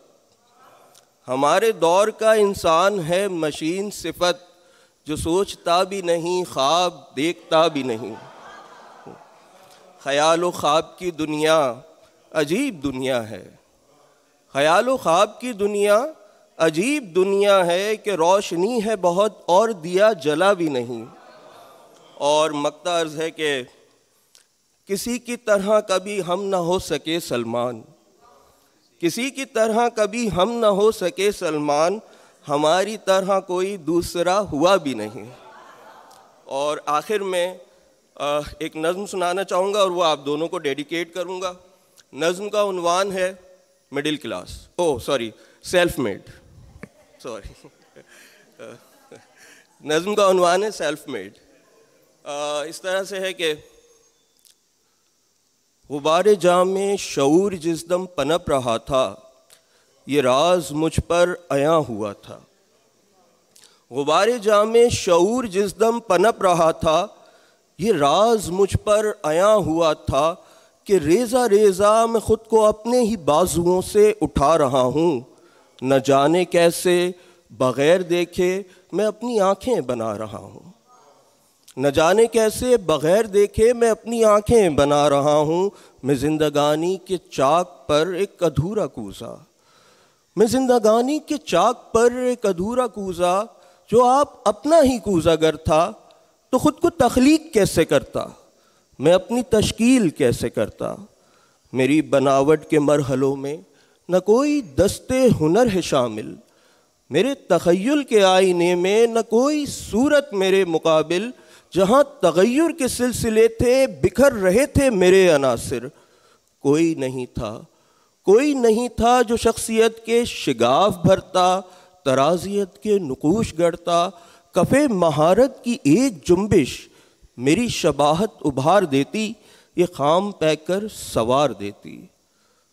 मगर वो जज्बा, मगर वो जज्बा कि जिसने मुझको ये खाम पैकर सवारने में फ़ाल रखा वजूद मेरा संभाल रखा कि मैंने खुद को तराश डाला खुद आप अपने कयास ही पर, बका के वाज जवाज ही पर। मैं खुद गरी में किसी बहाने से कोई ताखीर कैसे करता? मैं खुद गरी में किसी बहाने से कोई ताखीर कैसे करता? मैं ख्वाब रहता तो ख्वाब ताबीर कैसे करता? ये चाक गर्दिश थमी तो मुझको गुमान गुजरा। ये चाक गर्दिश थमी तो मुझको गुमान गुजरा, मैं अनबनासा ही रह गया हूँ। मगर निगाहें उठी तो देखा, वो सारे कूजे हुनरवरी की जो दस तरस में जहूर पाए, जमालियाती कसक तो वो भी लिए हुए हैं। पाए तकाबुल मैं अपनी तजलील कैसे करता, मैं खुद पे तनकीद कैसे करता, सो आज जो कुछ भी बन गया हूँ, अगरचे औरों से कुछ जुदा हूँ, मैं अपनी सोचों का आईना हूँ। मैं अपनी मेहनत का खुद सिला हूँ। मैं जिंदगानी के चाक पर बेमिसाल कूजा, जो आप अपना ही कूजा कर है। आप दोनों के लिए बहुत शुक्रिया। हमारे दरमियान मौजूद हैं यास्मीन यास साहिबा। मैं उनसे भी तमिस हूँ कि अब तशरीफ़ लाएँ। अगर आपने कुछ कलाम हमारी इन दोनों बुलंद कामत शख्सियात के लिए लिखा या डेडिकेट किया तो प्लीज़ हाँ पीरजादा साहब की अभी जो कोशिश की है सर मैंने अगर कोई गलती हो तो माफ़ कीजिएगा, कि गम से बहल रहे हैं आप उस पर दो शेर हुए हैं कि ज़ख्मों को भर रहे हैं आप।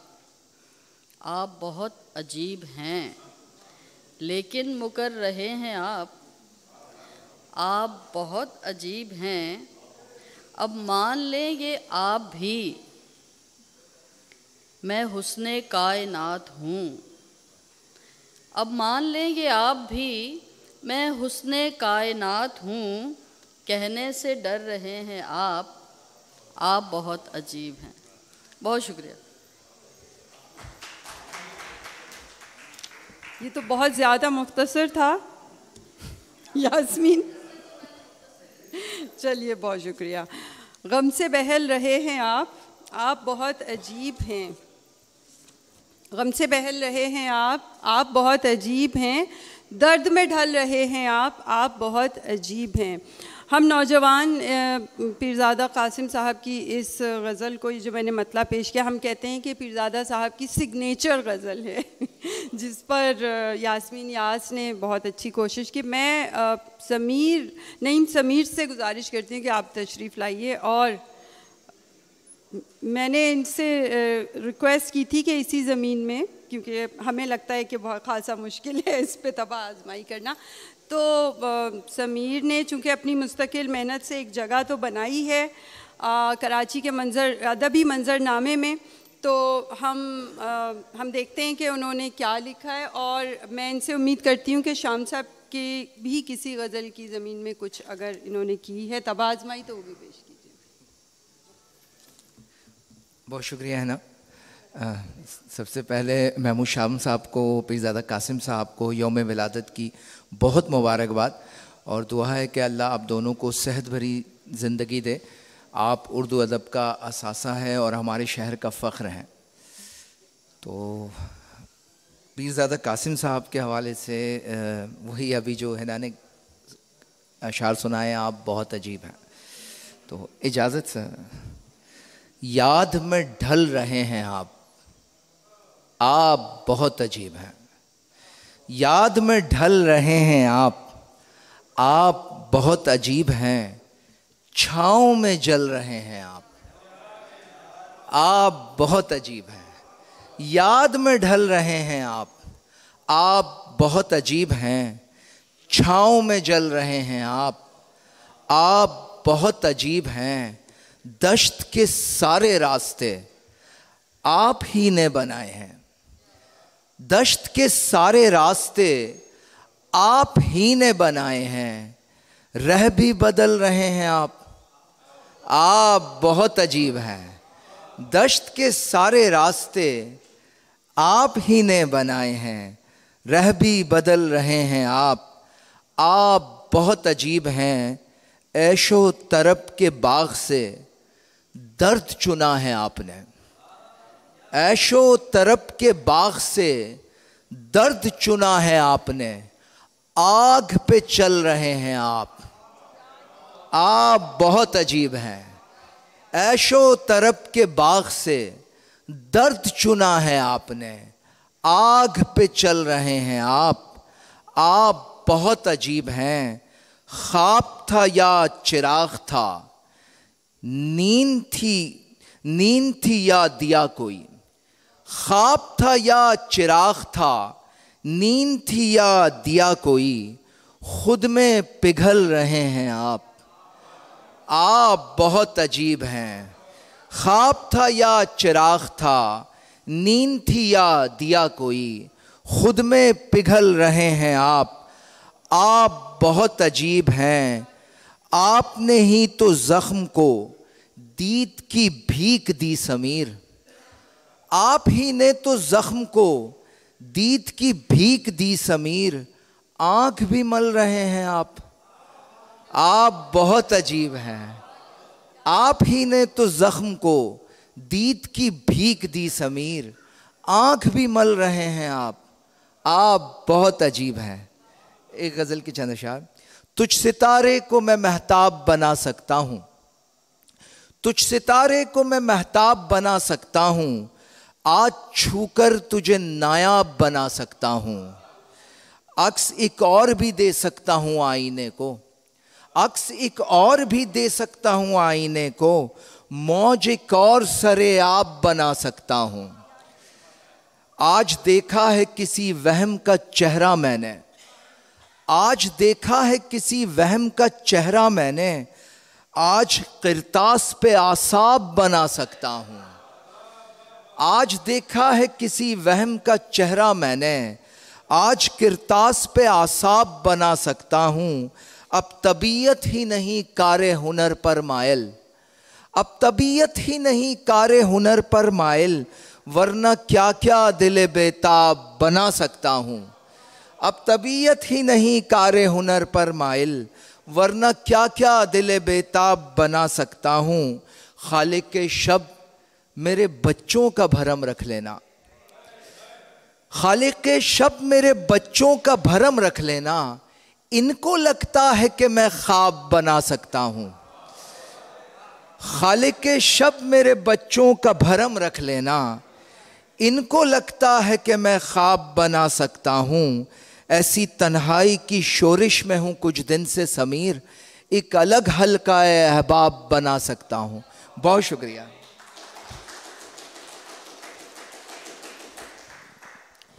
बहुत शुक्रिया। चूँकि नौजवान शोरा हम बैठे हैं और कोई ताख़िर तकदीम का ऐसा कोई मसला है नहीं, जो कलाम पेश करने के लिए। शमा को हँसी आ रही है क्योंकि हम में से कोई भी नौजवान अब रहा नहीं। तो तो यूसुफ आबदी यहाँ सामने बैठे थे, जो कि एक जूनियर शायर हैं, कराची की उभरती हुई आवाज़। और वो पीछे कहीं जाकर बैठ गए मुझे नहीं नज़र आए। तो मैंने नहीं बुलाया शुरू में तो आ, सब सीनियर्स की इजाज़त से मैं यूसुफ आबदी से गुजारिश करती हूँ कि वो तशरीफ़ लाएँ और जो चंद अशार आपने तबाह आजमाई की है वो यहाँ पेश कीजिए।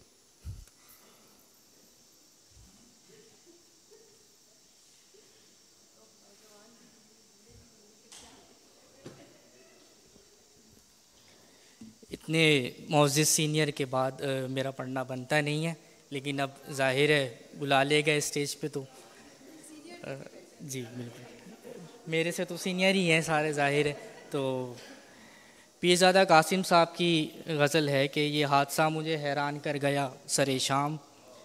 जो ज़ख्म सुबह मिला था वो भर गया सरे शाम। इस ज़मीन में कुछ तब आजमाई की है।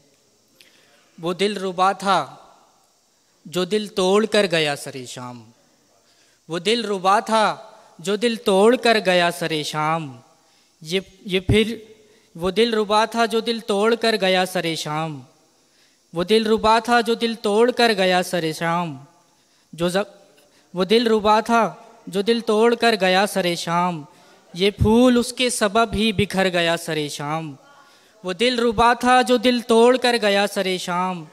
ये फूल उसके सबब ही बिखर गया सरे शाम। फिर उसके बाद कोई शब सुकून से गुजरी नहीं। फिर उसके बाद कोई शब सुकून से गुजरी नहीं। जो एक बार वो इल्ज़ाम धर गया सरे शाम। फिर उसके बाद कोई शब सुकून से गुजरी नहीं। जो एक बार वो इल्ज़ाम धर गया सरे शाम।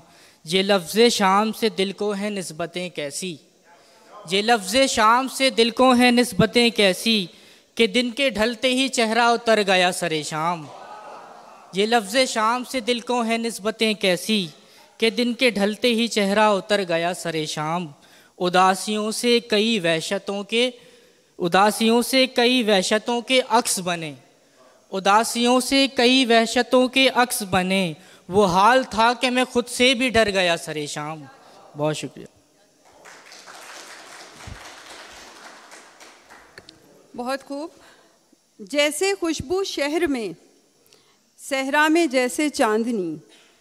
जैसे खुशबू शहर में, सहरा में जैसे चांदनी, यूँ बिखर जाता हूँ मैं तन्हाइयों के दरमिया। शाम साहब के इस शेर के साथ मैं मुलतमस हूँ शबीर नाजिर साहब से कि वो तशरीफ़ लाएँ और अपना कलाम पेश करें।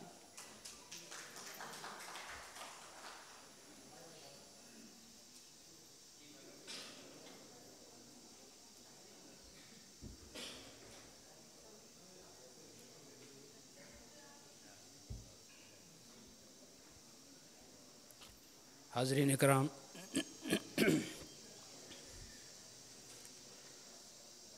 हमारे सामने इस लम्हे मौजूद में दो इतनी बड़ी और मोतबर शख्सियात बैठी हैं, जिनको देखना, जिनको सुनना बाइस से बरकत है।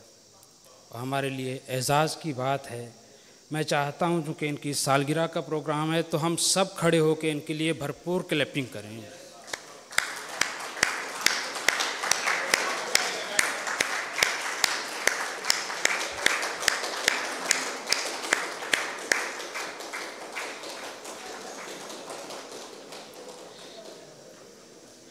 बहुत शुक्रिया जनाब।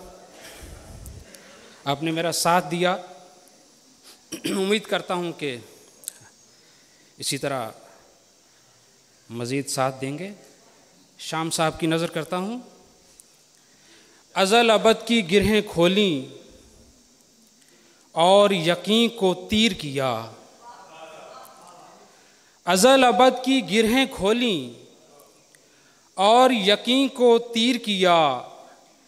ताबीरों को ख्वाब बनाया, ख्वाबों को ताबीर किया। अजल अबद की गिरहें खोली और यकीन को तीर किया, ताबीरों को ख्वाब बनाया, ख्वाबों को ताबीर किया। उसने मेरा रंज छुपाया जर्द हँसी के पत्तों में। उसने मेरा रंज छुपाया जर्द हँसी के पत्तों में। मैंने उसका दर्द सरापा अशकों पर तहरीर किया। उसने मेरा रंज छुपाया जर्द हँसी के पत्तों में। मैंने उसका दर्द सरापा, अशकों पर तहरीर किया। छोड़ के सारी दुनियादारी पाँव धरे एक रस्ते पर। छोड़ के सारी दुनियादारी पाँव धरे एक रस्ते पर, एक आवाज़ अकब से आई और मुझे जंजीर किया। छोड़ के सारी दुनियादारी पाँव धरे एक रस्ते पर, एक आवाज़ अकब से आई और मुझे जंजीर किया। दिल से उठी एक सदा और उन आँखों में गूंज गई। दिल से उठी एक सदा और उन आँखों में गूंज गई। तब जम्बीले फुर्सत देखी, उजलत को ताखीर किया। दिल से उठी एक सदा और उन आँखों में गूंज गई। तब जम्बीले फुर्सत देखी उजलत को ताखीर किया, चीखने वालों ने चुप साधी और लब बस्ता बोल उठे। चीखने वालों ने चुप साधी और लब बस्ता बोल उठे, धाक बिठाई शोर पे और खामोशी को तकरीर किया। चीखने वालों ने चुप साधी और लब बस्ता बोल उठे, धाक बिठाई शोर पे और खामोशी को तकरीर किया। बीत गया वो वक्त, वो लम्हे, अब क्या मुझसे पूछते हो? बीत गया वो वक्त, वो लम्हे, अब क्या मुझसे पूछते हो? किस किस रुख पर हँसी बिखेरी किस किस को दिलगीर किया? बीत गया वो वक्त, वो लम्हे, अब क्या मुझसे पूछते हो? किस किस रुख पर हँसी बिखेरी किस किस को दिलगीर किया? नाजिश मेरी आँखें देखने को एक दुनिया टूट पड़ी। नाजिश मेरी आँखें देखने को एक दुनिया टूट पड़ी। मैंने ख्वाब सराय में एक शख्स को क्या तस्वीर किया? नाजिश मेरी आँखें देखने को एक दुनिया टूट पड़ी। मैंने ख्वाब सराय में एक शख्स को क्या तस्वीर किया? अज़ल अबद की गिरहें खोली और यकीन को तीर किया। ताबीरों को ख्वाब बनाया, ख्वाबों को ताबीर किया। बहुत शुक्रिया। बहुत शुक्रिया शबीर नाजिश।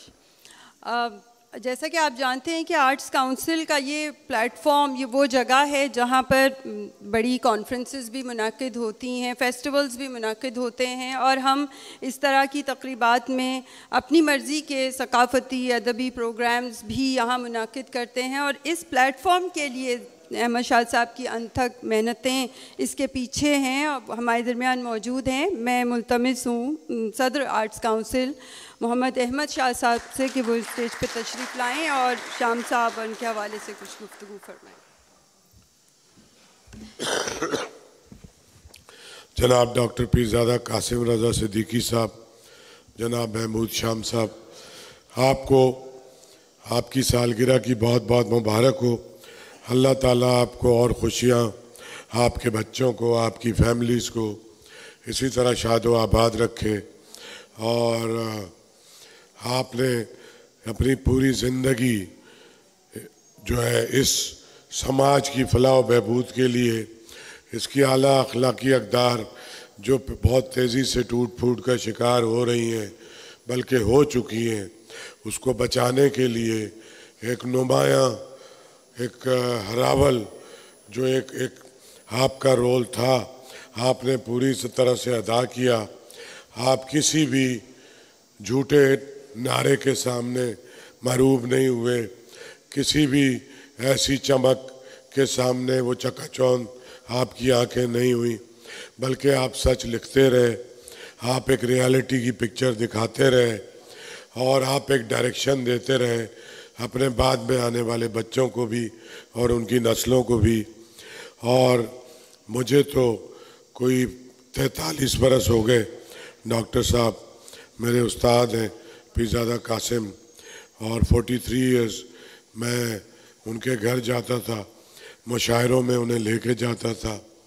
और एक ज़माना इनके साथ, इनकी कुर्बत मुझे मैसर रही, मुझ पे, मुझे बहुत फ़ख्र है इस बात पे।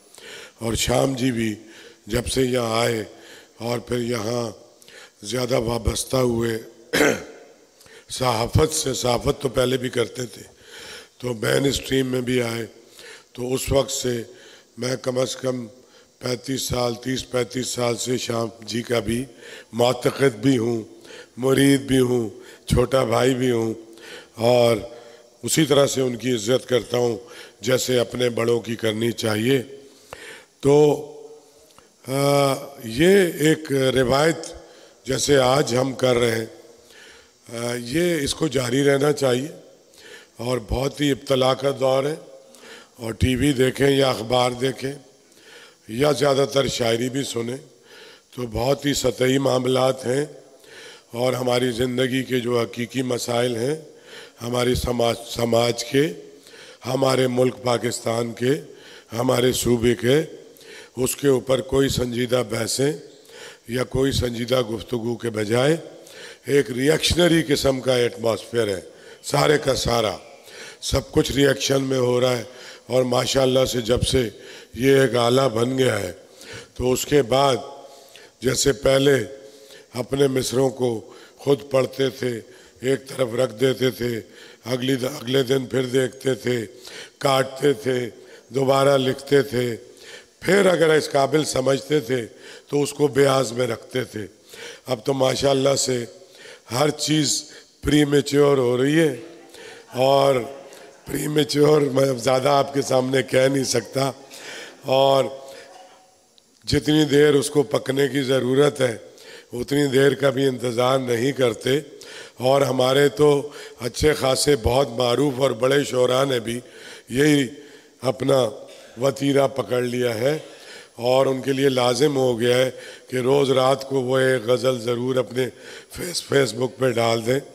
अच्छा उनसे इतनी शिकायत मुझे है तो शदीद कि वो जो मैार का एक पैमाना था और हम तो सामने होते थे नौजवान। डॉक्टर साहब को तो बहुत पता है और जॉन साहब के साथ भी सारी ज़िंदगी हमारा ताल्लुक़ रहा। और सभी इस शहर में जितने बुज़ुर्ग थे या उसके बाद की नस्ल थी। उसमें ये फिर एक गलगला मचा था वैदुल्ला अलीम। कुछ और लोग उनके साथ होते थे, जमाल सानी और सलीम भाई आए, सभी लोग।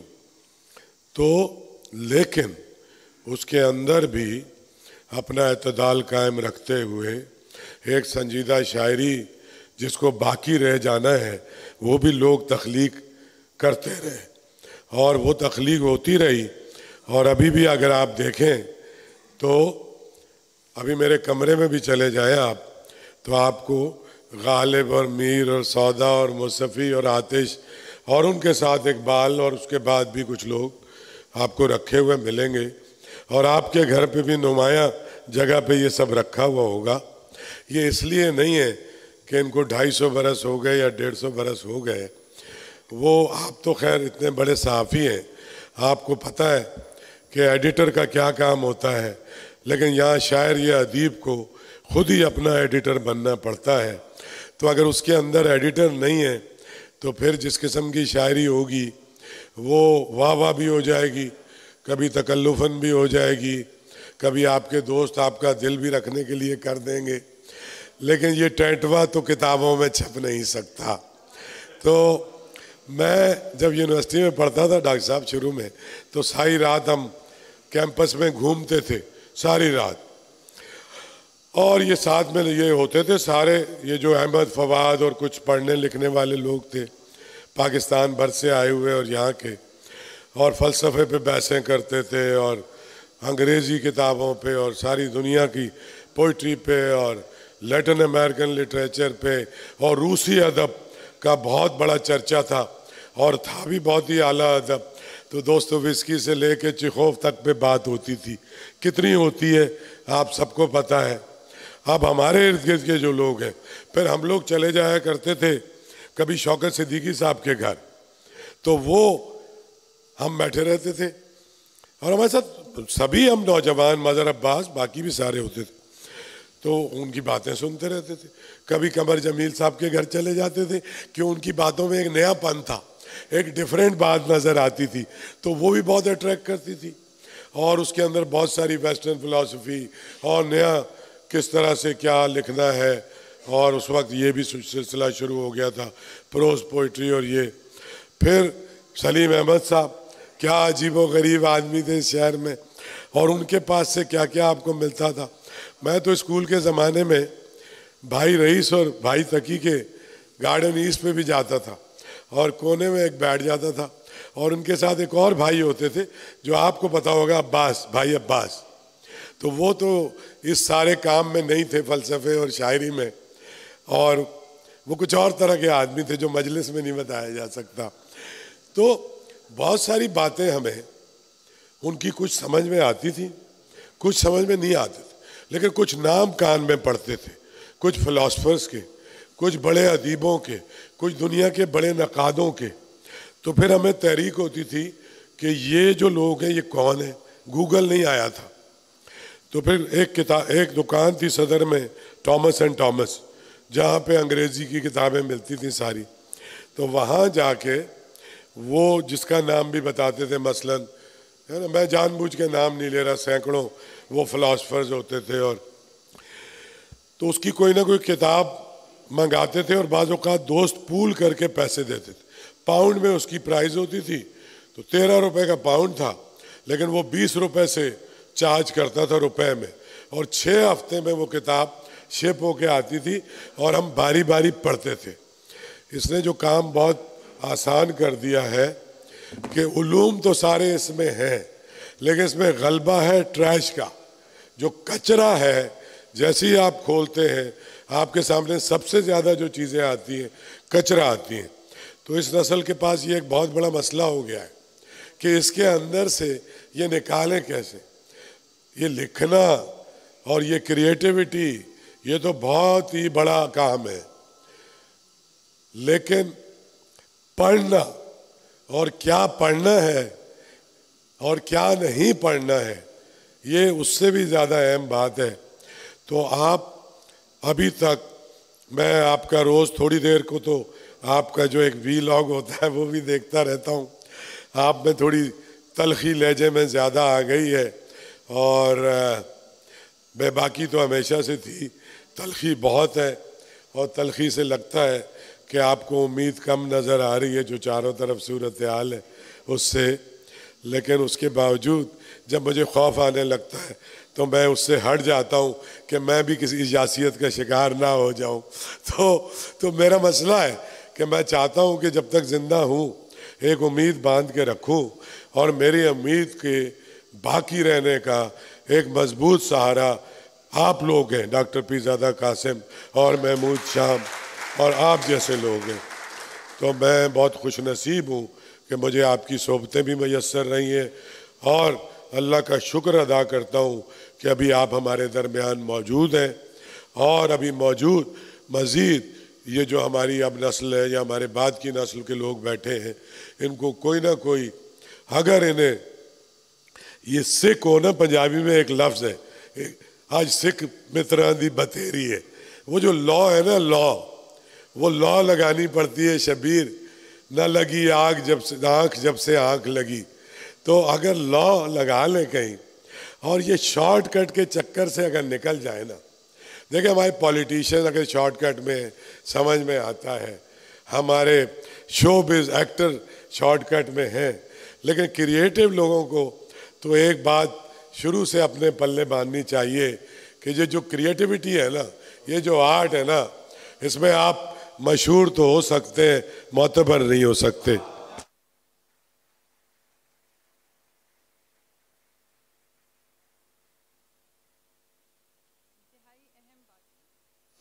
इंतहाई अहम बातें आपने सुनी। प्रोग्राम को आगे बढ़ाते हैं, हमारे साथ मौजूद हैं महमूद मुग़ल साहब। मैं उनसे गुजारिश करती हूँ कि तशरीफ़ लाएँ और अगर उन्होंने कुछ कलाम हमारे मोतबर सीनियर शरा के ज़मीन में, उनकी गज़ल की ज़मीन में पेश किया, लिखा है तो उसे पेश कीजिए। और अब हम चाहेंगे कि मुख्तसरा हम कलाम पेश करें ताकि हमें ज़्यादा वक्त मिले अपने सीनियर्स को सुनने के। मीम मुग़ल इज़ महमूद मुग़ल राइट मोहम्मद महमूद बहुत शुक्रिया बिना आपका। मैं डॉक्टर साहब और शाम साहब को इंतहाई मुबारकबाद पेश करता हूँ आपके जन्मदिन पर। खुदा आपका साया हम पर सलामत रखे। खालिद मोइन साहब अभी ज़िक्र कर रहे थे शहर आशोब का, शाम साहब के हवाले से बिलखसूस और पीरजादा कासिम साहब के हवाले से। तो मैंने जसारत की है शाम साहब के ज़मीन में चूँकि मैं नाम की नस्बत है महमूद शाम। तो, तो चंद शार देखिएगा कि हमने इस मुल्क में ऐसे भी तमाशे देखे।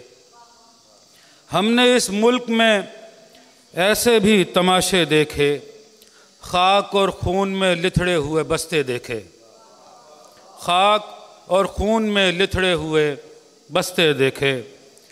रंज साल भी मिन्नत कशे नाखून ही रखा। रंज साल भी मिन्नत कशे नाखून ही रखा। ऐन मुमकिन है कोई ज़ख्म हमारे देखे। ऐन मुमकिन है कोई ज़ख्म हमारे देखे। और आँख को सैर समरकंदो बुखारा से गरज। आँख को सैर समरकंदो बुखारा से गरज, कौन अब दश्त में जलते हुए खैमे देखे? कौन अब दश्त में जलते हुए खैमे देखे? रास्ते खौफ में बारूद की बू में गुम हैं। रास्ते खौफ में बारूद की बू में गुम हैं। हमने इस शहर में चलते हुए कतबे देखे। हमने इस शहर में चलते हुए कतबे देखे। कल जहाँ चाप न थी, सूरत यकजाई थी। कल जहाँ चाप न थी, सूरत यकजाई थी। उन गुज़रगाहों से जाते हुए साए देखे। उन गुज़रगाहों से जाते हुए साए देखे। और एक उम्मीद पे बैठा हूँ, सरे साहिल शाम। एक उम्मीद पे बैठा हूँ, सरे साहिल शाम। उसको फुर्सत ही नहीं देखने आए। देखे। बहुत शुक्रिया। कान भी पड़ती नहीं है, अब तो आवाज़ ज़मीर। कान भी पड़ती नहीं है, अब तो आवाज़ ज़मीर। खोखले जहनों ने इतना शोर बर्पा कर दिया। शाम साहब के इस शेर के साथ मैं गुजारिश करती हूँ खालिद मुइन साहब से कि वो तशरीफ़ लाएँ और मुख्तसरा अपना कुछ कलाम इन दोनों हस्तियों को डेडिकेट करें। बहुत शुक्रिया। किसी बहुत मशहूर गज़ल पर, उसकी ज़मीन पर शेर कहना करीब करीब ख़ुदकुशी के मुतरदफ़ है और ये ख़ुदकुशी मैं करने जा रहा हूँ क्योंकि वो ज़मीन ऐसी है जो मंसूब है मोहर है डॉक्टर पीरजादा साहब की। मुझे दुआओं में याद रखिए। डॉक्टर साहब की इजाज़त से। खराज अकीदत के तौर पर ही है मैं अर्ज़ करता हूँ कि बिखर रहा हूँ, सिमट रहा हूँ, मुझे दुआओं में याद रखिए। बिखर रहा हूँ, सिमट रहा हूँ, मुझे दुआओं में याद रखिए, सहर से पहले सहर नुमा हूँ, मुझे दुआओं में याद रखिए। सहर से पहले सहर नुमा हूँ। मुझे दुआओं में याद रखिए।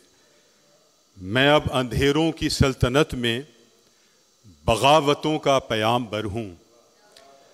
मैं अब अंधेरों की सल्तनत में बगावतों का प्याम बर हूँ।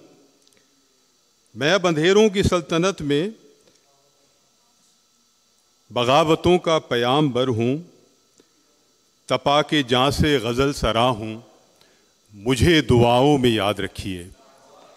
तपा के जहाँ से गज़ल सरा हूँ, मुझे दुआओं में याद रखिए। और सभी को अपने जमूद एक दिन, सभी को अपने जमूद एक दिन खुद अपनी ठोकर से तोड़ने हैं। सभी को अपने जमूद एक दिन खुद अपनी ठोकर से तोड़ने हैं। मैं अपना मंजर बना चुका हूँ, मुझे दुआओं में याद रखिए। मैं अपना मंजर बना चुका हूँ, मुझे दुआओं में याद रखिए। यहीं से दुनिया के सारे तेवर, यहीं से सारे, यहीं से दुनिया के सारे तेवर मेरी नज़र पर खुले हुए हैं। यहीं से दुनिया के सारे तेवर मेरी नज़र पर खुले हुए हैं। मैं अपनी खलवत में आ बसा हूँ। मुझे दुआओं में याद रखिए। यहीं से दुनिया के सारे तेवर मेरी नज़र पर खुले हुए हैं। मैं अपनी खलवत में आ बसा हूँ। मुझे दुआओं में याद रखिए। और हज़ार नफ़रत के वार होंगे इधर उधर से, ये जानता था। हज़ार नफ़रत के वार होंगे इधर उधर से ये जानता था, मगर मैं सच पर डटा हुआ हूँ, मुझे दुआओं में याद रखिए।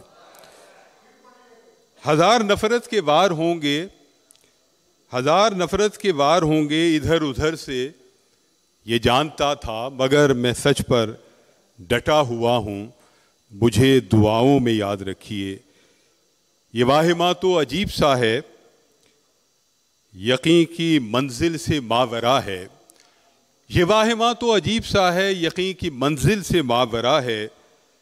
मैं अपने होने में मुब्तला हूँ। मुझे दुआओं में याद रखिए। दुआओं में याद रखिएगा। एक दो ऐसे सवाल थे जो मुझे डॉक्टर साहब से करने थे। मुख्तसर से सवाल हैं और दिलचस्प भी हैं। और मैं चाहूँगा कि अगर डॉक्टर साहब जवाब देना चाहेंगे, उससे बहुत खुशी होगी। एक ये कि वो मुस्कुराते हैं उनकी मुस्कुराहट बहुत खूबसूरत है और कभी कभी मुस्कुराते हैं तो बहुत अच्छा लगता है। तो मेरा सवाल ये है कि डॉक्टर साहब कभी आपने कहकहा भी लगाया है बहुत खुलकर? एक सवाल तो ये है मेरा। दूसरा सवाल ये है कि डॉक्टर साहब की शख्सियत में आ, उनकी शख्सियत के औसाफ सारे ही बहुत ज़बरदस्त हैं नुमायाँ हैं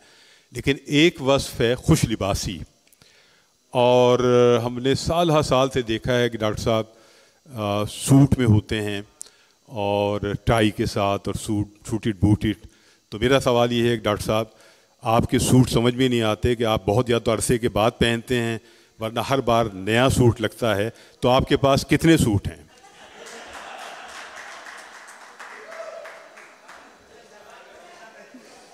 पीरजादा साहब, हमारे शहर की आबरू हैं। पूरी दुनिया में मुमताज़ और शायरी में जितने अहम नाम हैं, उनमें नुमायाँ हैं सर फहरिस्त हैं। और उन्होंने हमेशा नौजवानों की हौसला अफजाई की। खालिद मुइन साहब तो हमारे सीनियर हैं, लेकिन उन्होंने भी ये चाहा कि आपकी ज़मीन में कलाम यहाँ पेश करें। तो अब मैं मसनद नशीनों की जानब हूँ और पीरजादा कासिम साहब से ही गुजारिश करूँगी कि वो कुछ गुफ्तु अगर इस प्रोग्राम के हवाले से ही करना चाहें कि उन्हें कैसा लगा आज की ये एक एक जिद्दत जो हमने यहाँ पैदा करने की कोशिश की। उस हवाले से कुछ बात कीजिए। और खालिद मोइन साहब ने एक सवाल आई डोंट नो अजराए तफनुन किया या वो सच में जानना चाहते हैं कि आपके पास कितने सूट हैं और आप अगर बताना चाहें तो आप बता सकते हैं। और उसके साथ वो कह, कहे वाला सवाल, और आपका कलाम भी हम सुनना चाहेंगे। तो इसके साथ कुछ कलाम भी और तरन्नुम के साथ भी। अच्छा। बहुत शुक्रिया। माशाल्लाह बहुत अच्छी निज़ामत कर रही हैं। और अब तो हमें बहुत ज़रूरत ये रही हमेशा कि हमारे पास नाजमीन नहीं थे। प्रोग्राम होते थे, मगर सलीक़े के साथ अच्छी निज़ामत, जो माना आफरीनी से जा मिले तो ये बहुत अच्छा है और माशाल्लाह आप कर रही हैं। मेरे लिए मेरे लिए तो ये बड़े एज़ाज़ की बात है कि मेरे साथ महमूद शाम साहब मौजूद हैं और यहाँ बैठे हैं। आ, ये तो कुदरत की तरफ़ से हुआ कि हम फरवरी में दोनों आ, लेकिन वैसे मैं ये कहता हूँ कि महमूद शाम साहब में जो सिफात मैंने देखी काफ़ी ज़माना हो गया कि पता नहीं कितने बरस हुए पहली मुलाकात कहाँ हुई? टंडू आदम में। हम दोनों एक मशायरे में थे उस वक्त महमूद शाम साहब से मुलाकात नहीं हुई। और आ, तो वहाँ से वो मुलाकात चली और मैंने बहुत गौर से क्योंकि ये एक शख्सियत ऐसी थी कि जो अपने आप को इनकी तहदारियाँ खुलती चली जा रही थी। मगर सारे के सारे मौजूद में जितने भी ज़िंदगी के हैं और आज तक हैं। अब वो उन्होंने नावलें भी लिखी, उन्होंने तबसरे भी लिखे तजिए भी किए, तहकीक भी की। इसके अलावा उनके कॉलम्स हैं और शायरी है।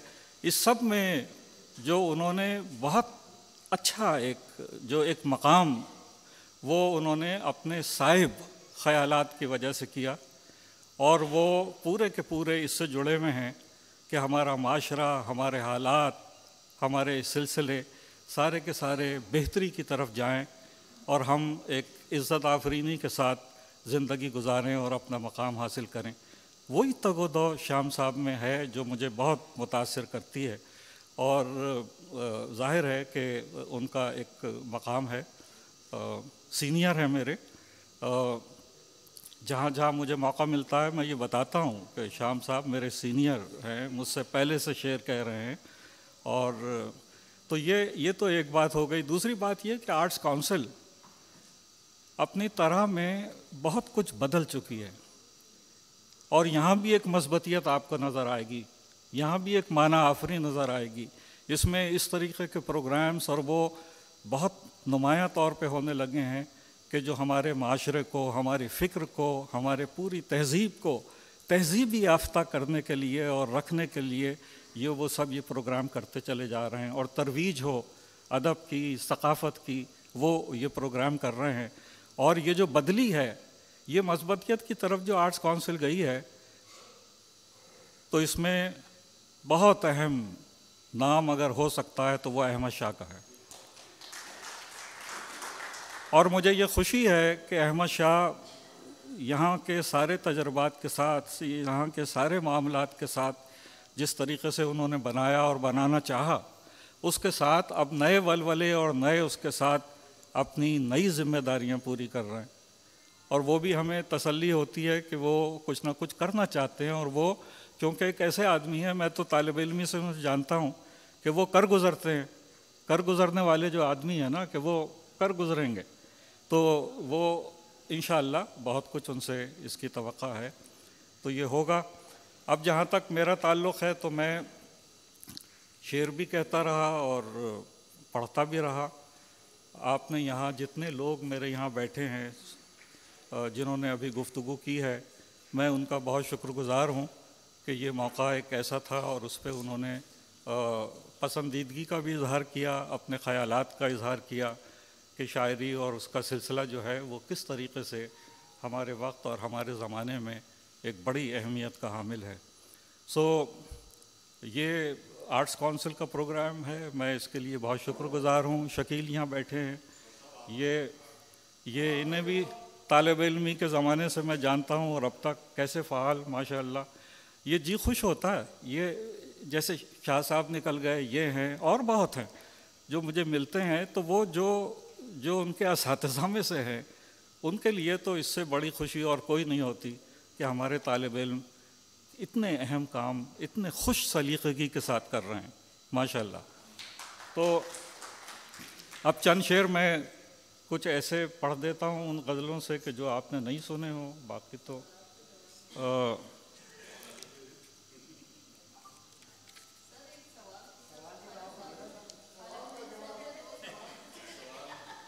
सवाल जवाब का तो सेशन फिर वो हो जाएगा।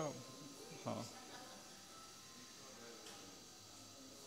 मैंने अर्ज़ किया कि शाम साहब इजाज़त? जी। मैंने अर्ज़ किया कि उलझना तीरा शबी से हुई कहानी मेरी। उलझना तीरा शबी से हुई कहानी मेरी उजाले ढूंढते रहना है जिंदगानी मेरी। उलझना तीरा शबी से हुई कहानी मेरी उजाले ढूंढते रहना है जिंदगानी मेरी। क्या है चश्मे तर मेरी और गम है सब ज़माने के। है चश्मे तर मेरी और गम है सब ज़माने के। कहाँ इन अशकों से हो पाई तर्जुमानी मेरी। कहाँ इन अशकों से हो पाई तर्जुमानी मेरी। तर्जुमानी मेरी। ये दिल का बाग है जमा किए हैं, ज़ख्म ही ज़ख्म। ये दिल का बाग है, जमा किए हैं, ज़ख्म ही ज़ख्म।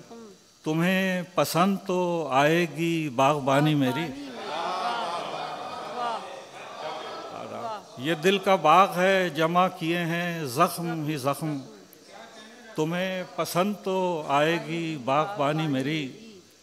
और मेरा निशान तो मिला वक्त को सरे मंजिल। मेरा निशान तो मिला वक्त को सरे मंजिल। न जाने मैं था कि रखी थी राय गानी मेरी। क्या मेरा पता तो मिला वक्त को सरे मंजिल। न जाने मैं था कि रखी थी राय गानी मेरी। मुझे तलाश करो भी तो आम लोगों में। मुझे तलाश करो भी तो आम लोगों में उन्हीं के गम, मेरे गम, उनकी शादमानी मेरी। मुझे तलाश करो भी तो आम लोगों में उन्हीं के गम, मेरे गम, उनकी शादमानी मेरी। बहुत कहा, कि ठहर, मेरा इंतज़ार तो कर। बहुत कहा, कि ठहर मेरा इंतज़ार तो कर गुज़रते वक्त ने एक बात भी न मानी मेरी।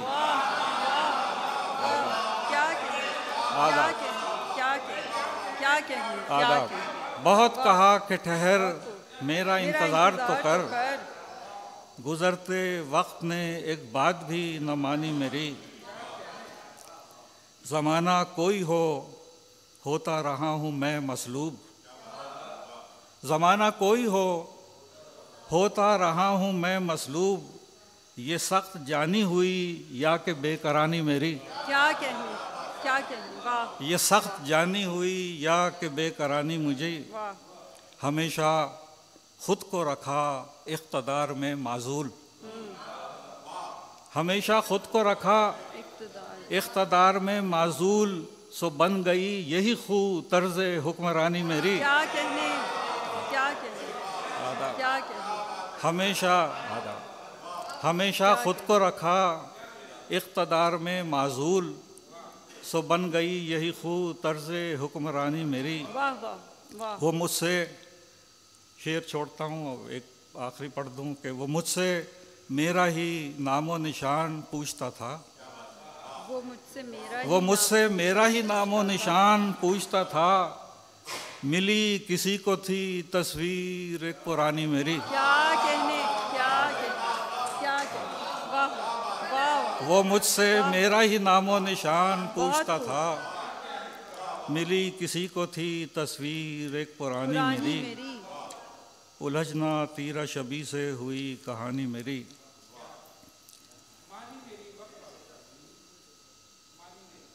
बहुत कहा कि ठहर मेरा इंतज़ार तो कर। बहुत कहा कि ठहर। मेरा इंतज़ार तो कर।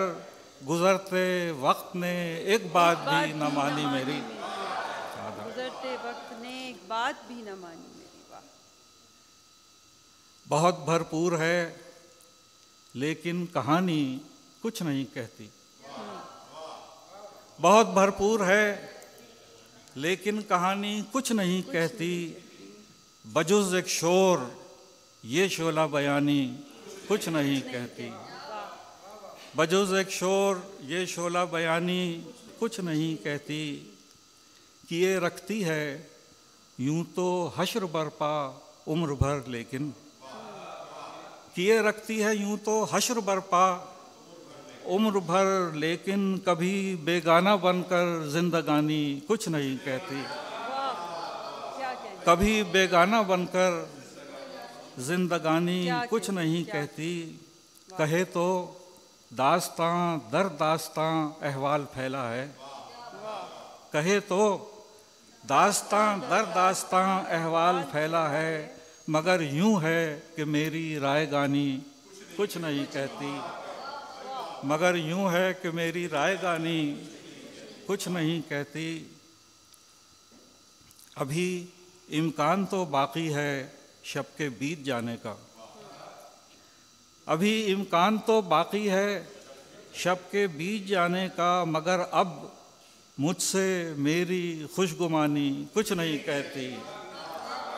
अभी इम्कान तो बाकी है शब के बीत जाने का, मगर अब मुझसे मेरी खुशगुमानी कुछ नहीं कहती। उठेगा शोर तब जिच होके अपने कान छू लोगे। उठेगा शोर, तब जिच होके अपने कान छू लोगे। अभी क्या वक्त की ये बेज़बानी? कुछ नहीं कहती। अभी क्या वक्त की ये बेज़बानी? कुछ नहीं कहती। बहुत भरपूर है, लेकिन कहानी कुछ नहीं कहती। चंद शेर और पढ़ दूँ? फिर फिर पर आज तो बहुत ही बुरा हाल है। और बात करना मुश्किल हो रहा तो फिर कभी करेंगे। अच्छा और सुने। देखिए, ये शायद नहीं सुनी, पढ़ी नहीं गई। बला के इस जबर वक्त में उसको ढूंढ लेना कमाल होगा। बला के इस जबर वक्त में उसको ढूंढ लेना कमाल होगा। अगर मिला भी तो रुक के एक लम्हा बात करना महाल होगा। बला के इस जबर वक्त में उसको ढूंढ लेना कमाल होगा। अगर मिला भी तो रुक के एक लम्हा बात करना महाल होगा। अजीब बेगानगी की रुत में सुना है एक नगमा मोहब्बत। अजीब बेगानगी की रुत में सुना है एक नगमा मोहब्बत, ये इनकलाब आफरी न ठहरे, मगर ताल्लुक़ बहाल होगा। ये इनकलाब आफरी न ठहरे, मगर ताल्लुक़ बहार होगा। उसे खबर हो सके तो अच्छा। ख़ज़ा ताक़ुब में है ख़ज़ा के। उसे खबर हो सके तो अच्छा। ख़ज़ा ताक़ुब में है ख़ज़ा के, मलाल मौसम के बाद एक और मौसम सद मलाल होगा। मलाल मौसम के बाद एक और मौसम सद मलाल होगा। एक और मौसम सद मलाल होगा। बिछड़ने वाली रुतों में कोई विसाल के गीत गा रहा है। बिछड़ने वाली रुतों में कोई विशाल के गीत गा रहा है, सो इससे बस ये सो इससे बस हो सकेगा इतना कि दो रुतों का विशाल होगा। ये सोचकर मैं तलब कशाने जहाँ में शामिल हुआ हूँ, यानी ये सोचकर मैं तलब कशाने जहाँ में शामिल हुआ हूँ, यानी अगर कोई आरज़ू न होगी तो जीस करना महाल होगा। तो ये अशार मैंने पढ़े, अब मेरा ख्याल है शाम साहब से सुन लीजिए। जी? नज़म इसमें है नहीं, और याद मुझे रहता नहीं तो मेरा ख्याल है मैं सुना देता हूँ कोई।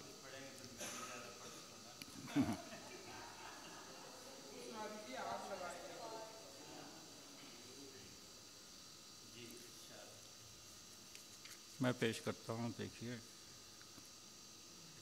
मैंने अर्ज़ किया कि दर्द से दर्द से मशरूत तैयारी में रखा जाएगा।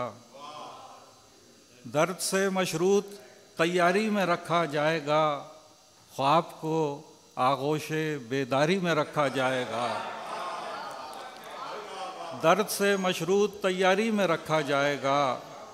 ख्वाब को आगोश बेदारी में रखा जाएगा। क्या और क्यों क्यों मनाजिर इस कदर शफाफ दिखलाए गए। क्यों? मनाजिर? इस कदर शफाफ दिखलाए गए। आईने को कैद जंगारी में रखा जाएगा। क्या मनाजिर इस कदर? शफाफ क्यों मनाजिर इस कदर शफाफ दिखलाए गए? आईने को कैद जंगारी में रखा जाएगा। चंद लम्हों की रफाकत भी बड़ा इनाम है। चंद लम्हों की रफाकत भी बड़ा इनाम बड़ा इनाम है। जीस्त को अब ख्वाब सरशारी में रखा जाएगा। जीस्त को अब ख्वाब सरशारी में रखा जाएगा। और फिर देखिए कि मालो दौलत जाहो मनसब की फरावानी के बीच। मालो दौलत जाहो मनसब की फरावानी के बीच हमको नादीदा सी नादारी में रखा जाएगा। हमको नादीदा सी नादारी में रखा जाएगा। हमको नादीरा कोई मारा जाएगा। आगोश गफलत में कहीं। कोई मारा जाएगा आगोश गफलत में कहीं और किसी को दामे होशियारी में रखा जाएगा। वाह वाह। और किसी को दामे होशियारी में रखा जाएगा। वक्त की इस तेज़ रफ्तारी में क्या ताबे नज़र? वक्त की इस तेज़ रफ्तारी में क्या ताबे नज़र? हमको अब किसकी निगहदारी में रखा जाएगा? दर्द से मशरूत तैयारी में रखा जाएगा। ख्वाब को आगोश बेदारी में रखा, रखा जाएगा क्या क्या, क्या क्या?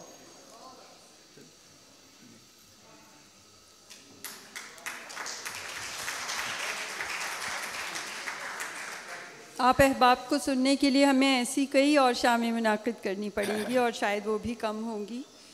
आ, मैं हमारे साथ शाम साहब मौजूद हैं अहद हाजिर के जितने भी नुमाया शायर अदीब सहाफ़ी हैं उनमें आप एक अहम हैसियत रखते हैं।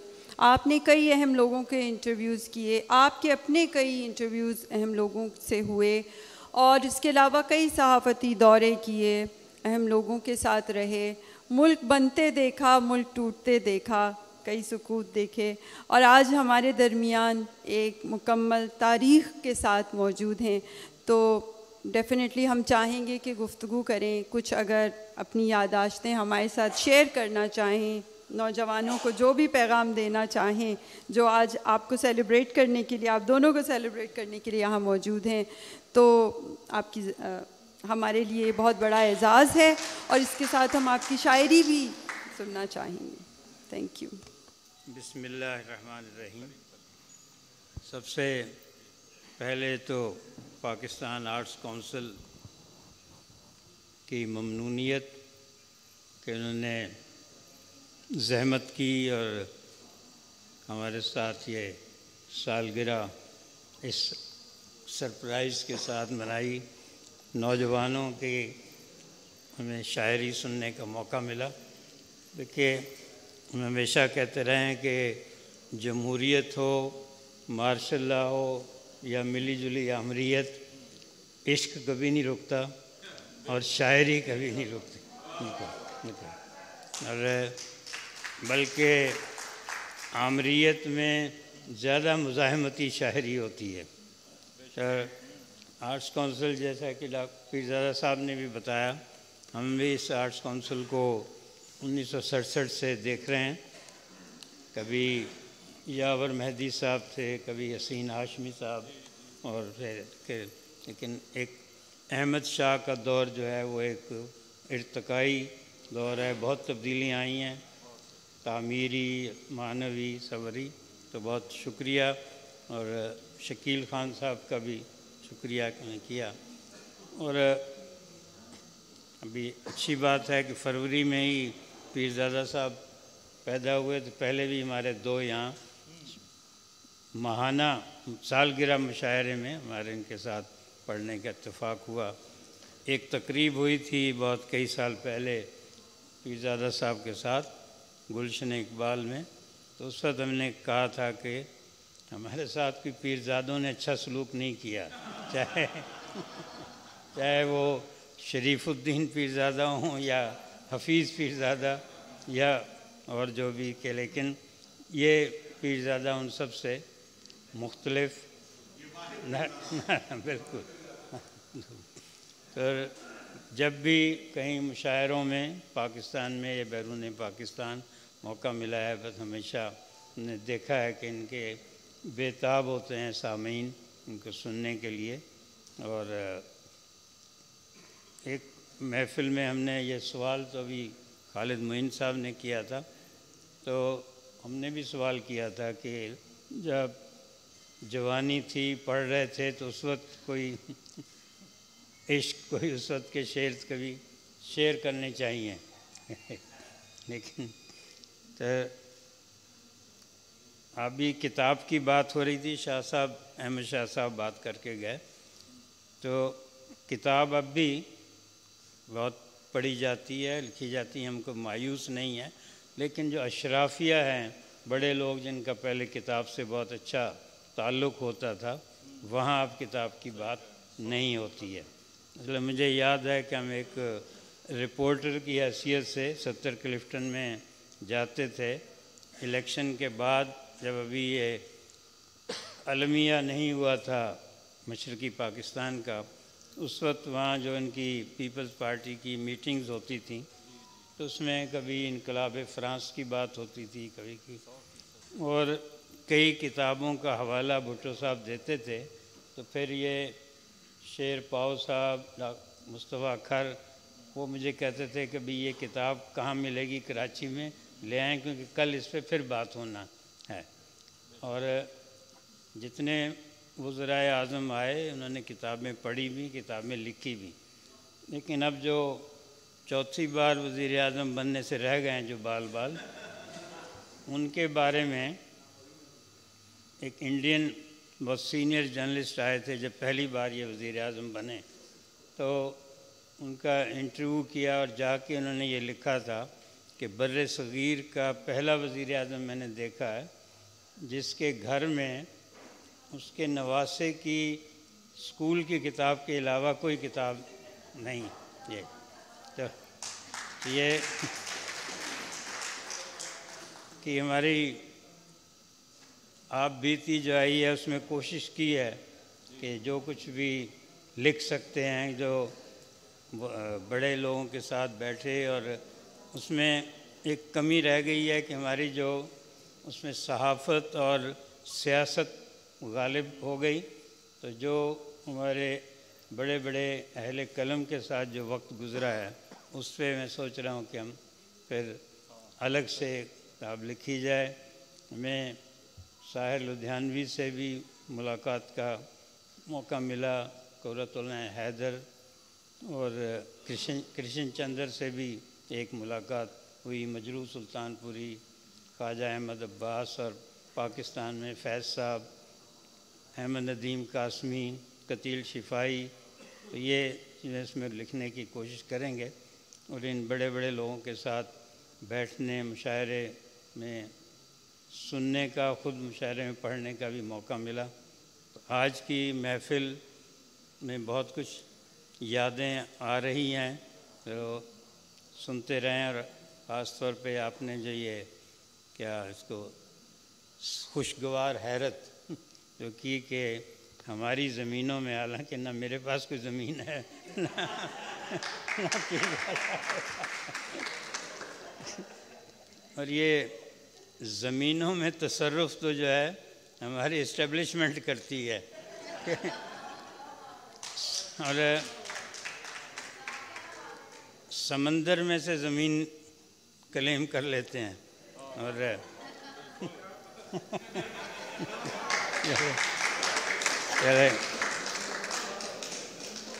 से जी, बहरहाल, इस वक्त जिस कर्ब से हम गुज़र रहे हैं, कल हमने बहुत ही बाकायदा साफ़ी, साफ़ियाना ज़िंदगी में बहुत बहुत से बहरान देखे, लेकिन मेरा ख्याल है ये जो है इसमें सियासी, समाजी, इकतसादी तो है, लेकिन सबसे अफसोसनाक जो है अखलाकी बहरान। और जो इस वक्त ज़ुबान इस्तेमाल की जा रही है, और जो कुछ ख़वातीन के साथ, हमारी माओ बहनों के साथ, जो कुछ पंजाब में ख़ास तौर पर जो कुछ हो रहा है, लेकिन इसके साथ ही एक उम्मीद की किरण भी है कि पहली बार पंजाब बेदार हो रहा है कि हमेशा शिकायत रही है बलूचिस्तान को, सिंध को और खैबर पख्तूनख्वा को कि पंजाब वाले जो हैं, वो हमेशा एक ग़ुलाम, ताबेदार बने रहते हैं। लेकिन पहली बार पंजाब में बेदारी आई है और उसके नतीजे में इन जो सुबह आज़ादी कामिल जो है या हकीकी आज़ादी वो इन नसीब होगी। अभी निज़ामत से पूछ लेते हैं कि कितनी कितना वक्त है हमारे पास कि मैं चाहूँगा कि मुख्तलिफ़ अदवार के कुछ अशार अपने पेश कर दें। अता कीजिए। चाँद तारे जब उस आँगन से गुजरते होंगे शाम वो लोग हमें याद तो करते होंगे। वाह वाह। एक ये सुबह के वीरा है गुजर गाए ख्याल। एक वो सुबह जहाँ बाल संवरते होंगे। क्या कहने? क्या कहने? एक ये शाम के भीगी हुई पलकें हैं वही। एक वो शाम जहाँ चाँद उतरते होंगे। क्या कहने? क्या कहने? एक वो शाम जहाँ चाँद उतरते होंगे। एक इस गज़ल के तीन चार अशार के इस गज़ल की वजह से मुझे गवर्नमेंट कॉलेज लाहौर में दाखिला मिला था। उन्नीस में ये गज़ल माह नौ उस वक्त बहुत मयारी सरकारी रिसाला होता था। रफ़ीक खावर था थे उसके एडिटर। के हाँ। तो, तो ये डॉक्टर नज़ीर अहमद थे प्रिंसिपल गवर्नमेंट कॉलेज लाहौर के बहुत थे साइंस के आदमी लेकिन शायरी मौसीकी उसके बहुत बुरे फैज़ साहब वगैरह इन सबसे उनका बहुत ज़्यादा प्रश्न था। उम्र गुजरी के तेरी धुन में चला था दरिया। जा बजा घूमता है आज भी पगला दरिया। बनती जाती हैं गोहर कितनी ही भूली यादें। ये मेरा दिल है कि ठहरा हुआ गहरा दरिया। वाह क्या कहने बनती जाती हैं गोहर कितनी ही भूली यादें। ये मेरा दिल है कि ठहरा हुआ गहरा दरिया। थल के सीने पे पिघल जाती है जब चाँद की बर्फ़। थल को आप थर भी कर सकते हैं। थल के सीने पे पिघल जाती है जब चाँद की बर्फ़ दूर तक रेत पे बहता है सुनहरा दरिया। क्या कहें क्या कहें? दूर तक रेत पे बहता है। थल के सीने पे पिघल जाती है जब चाँद की बर्फ़ दूर तक रेत पे बहता है सुनहरा दरिया। ये हवाओं की पुरस्रार सदा हाँपती शब। ये हवाओं की पुरस्रार सदा हाँपती शब हर तरफ़ गूंजते सन्नाटे ये तन्हा दरिया। और हाय वो रंग भरे प्यार के मस्कन पत्तन हाय वो नाव से रह रह के लिपटता दरिया। क्या कहने? क्या कहने? डिनर पे आज कोई उत्साह आशना भी न था। मैं ये बज़म महफिल की जगह जो आजकल है, डिनर पे आज कोई उत्साह आशना भी न था। वो इससे पहले अगरचे कहीं मिला भी न था। हाँ। उसी ने आज बताया मुझे कि कौन हूँ मैं। उसी ने आज बताया मुझे कि कौन हूँ मैं। वो जिसको आज से पहले मैं जानता भी न था। क्या कहने? क्या कहने?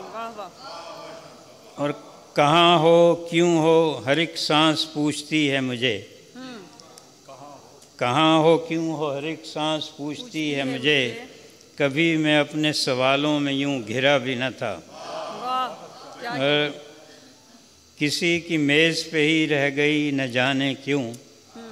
वो डायरी कभी जिस पे कुछ लिखा भी न था। क्या कहने क्या कहने। डाय किसी फिर अता कीजिए किसी की मेज़ पे ही रह गई मतलब न जाने क्यों। वो डायरी के अभी जिस पे कुछ लिखा भी न था।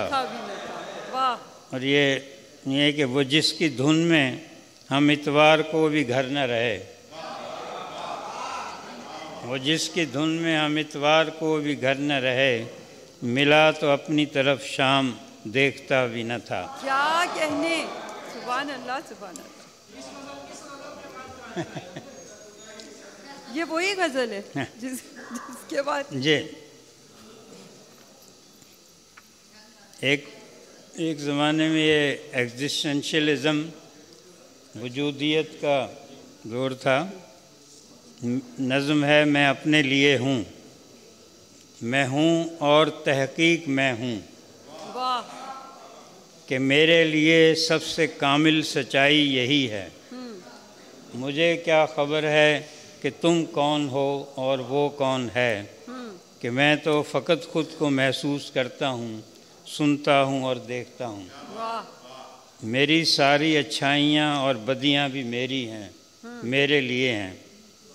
कि मैंने जो आशोब झेले वो मेरे थे मेरे लिए थे। मैं उनमें नहीं हूँ जो इबलीस पर अपने सारे गुनाहों का इल्ज़ाम धरते हैं। मैं मैं उनमें नहीं हूँ जो इबलीस पर अपने सारे गुनाहों का इल्ज़ाम धरते हैं और खूबियों को किसी का करिश्मा समझते हैं। अगर नेकियों के शरारे, बदी के शगुफ़े कहीं और खिलते हैं और मेरे अमाल उनका फ़कत अक्स ही हैं तो मैं कौन हूँ? किस लिए हूँ? ये सारे ह्यूले मेरे वास्ते आज बेरंग हैं। रंगतें और खुशबू तो मेरे तसल्लुत में हैं। और मैं एक खाका हूँ जिसमें मुझे आप ही रंग भरने हैं। खुशबू बसानी है। मैं हूँ मैं अपने लिए हूँ। बहुत खूब बहुत खूब।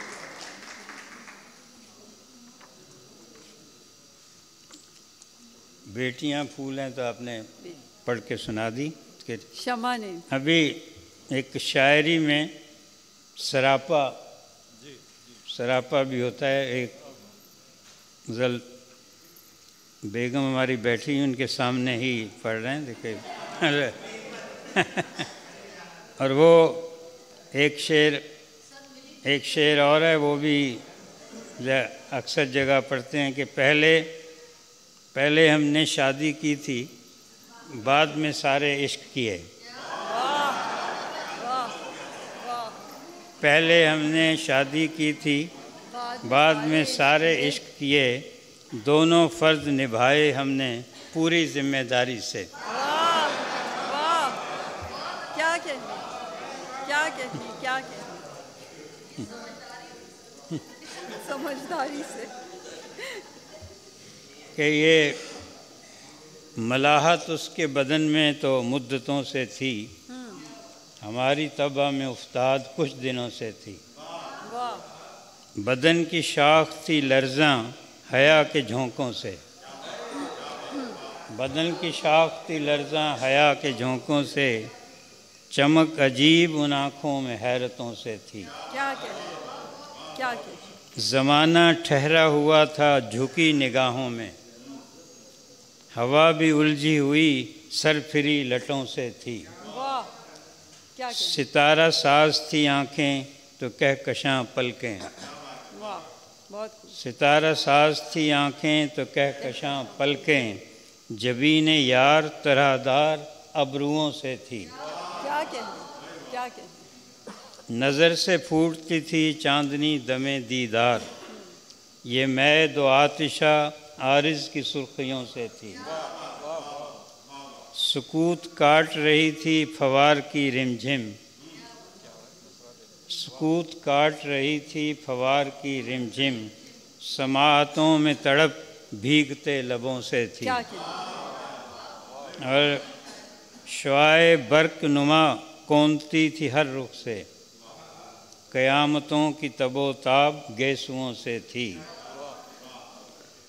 और आखिरी चला नज़र फिसल के लबों से कहीं न रुक पाती। तराश संग बदन ऐसे जावियों से क्या थी। एक ये एक एक एक नज़म और है वो आजकल के हालात से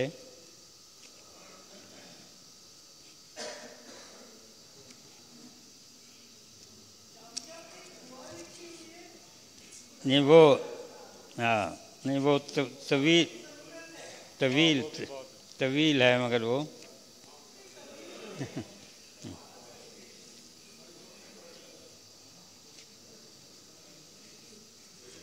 ये इस खराबे में कभी बाद वफा भी तो चले। ऐ मेरे अहद जफाजाद जुनू खेज़ बता। ऐ मेरे अहद जफा ज़ादो जुनू खेज़ बता तेरे लहजे में ये सफ़ाकियो तुंदी क्यों है?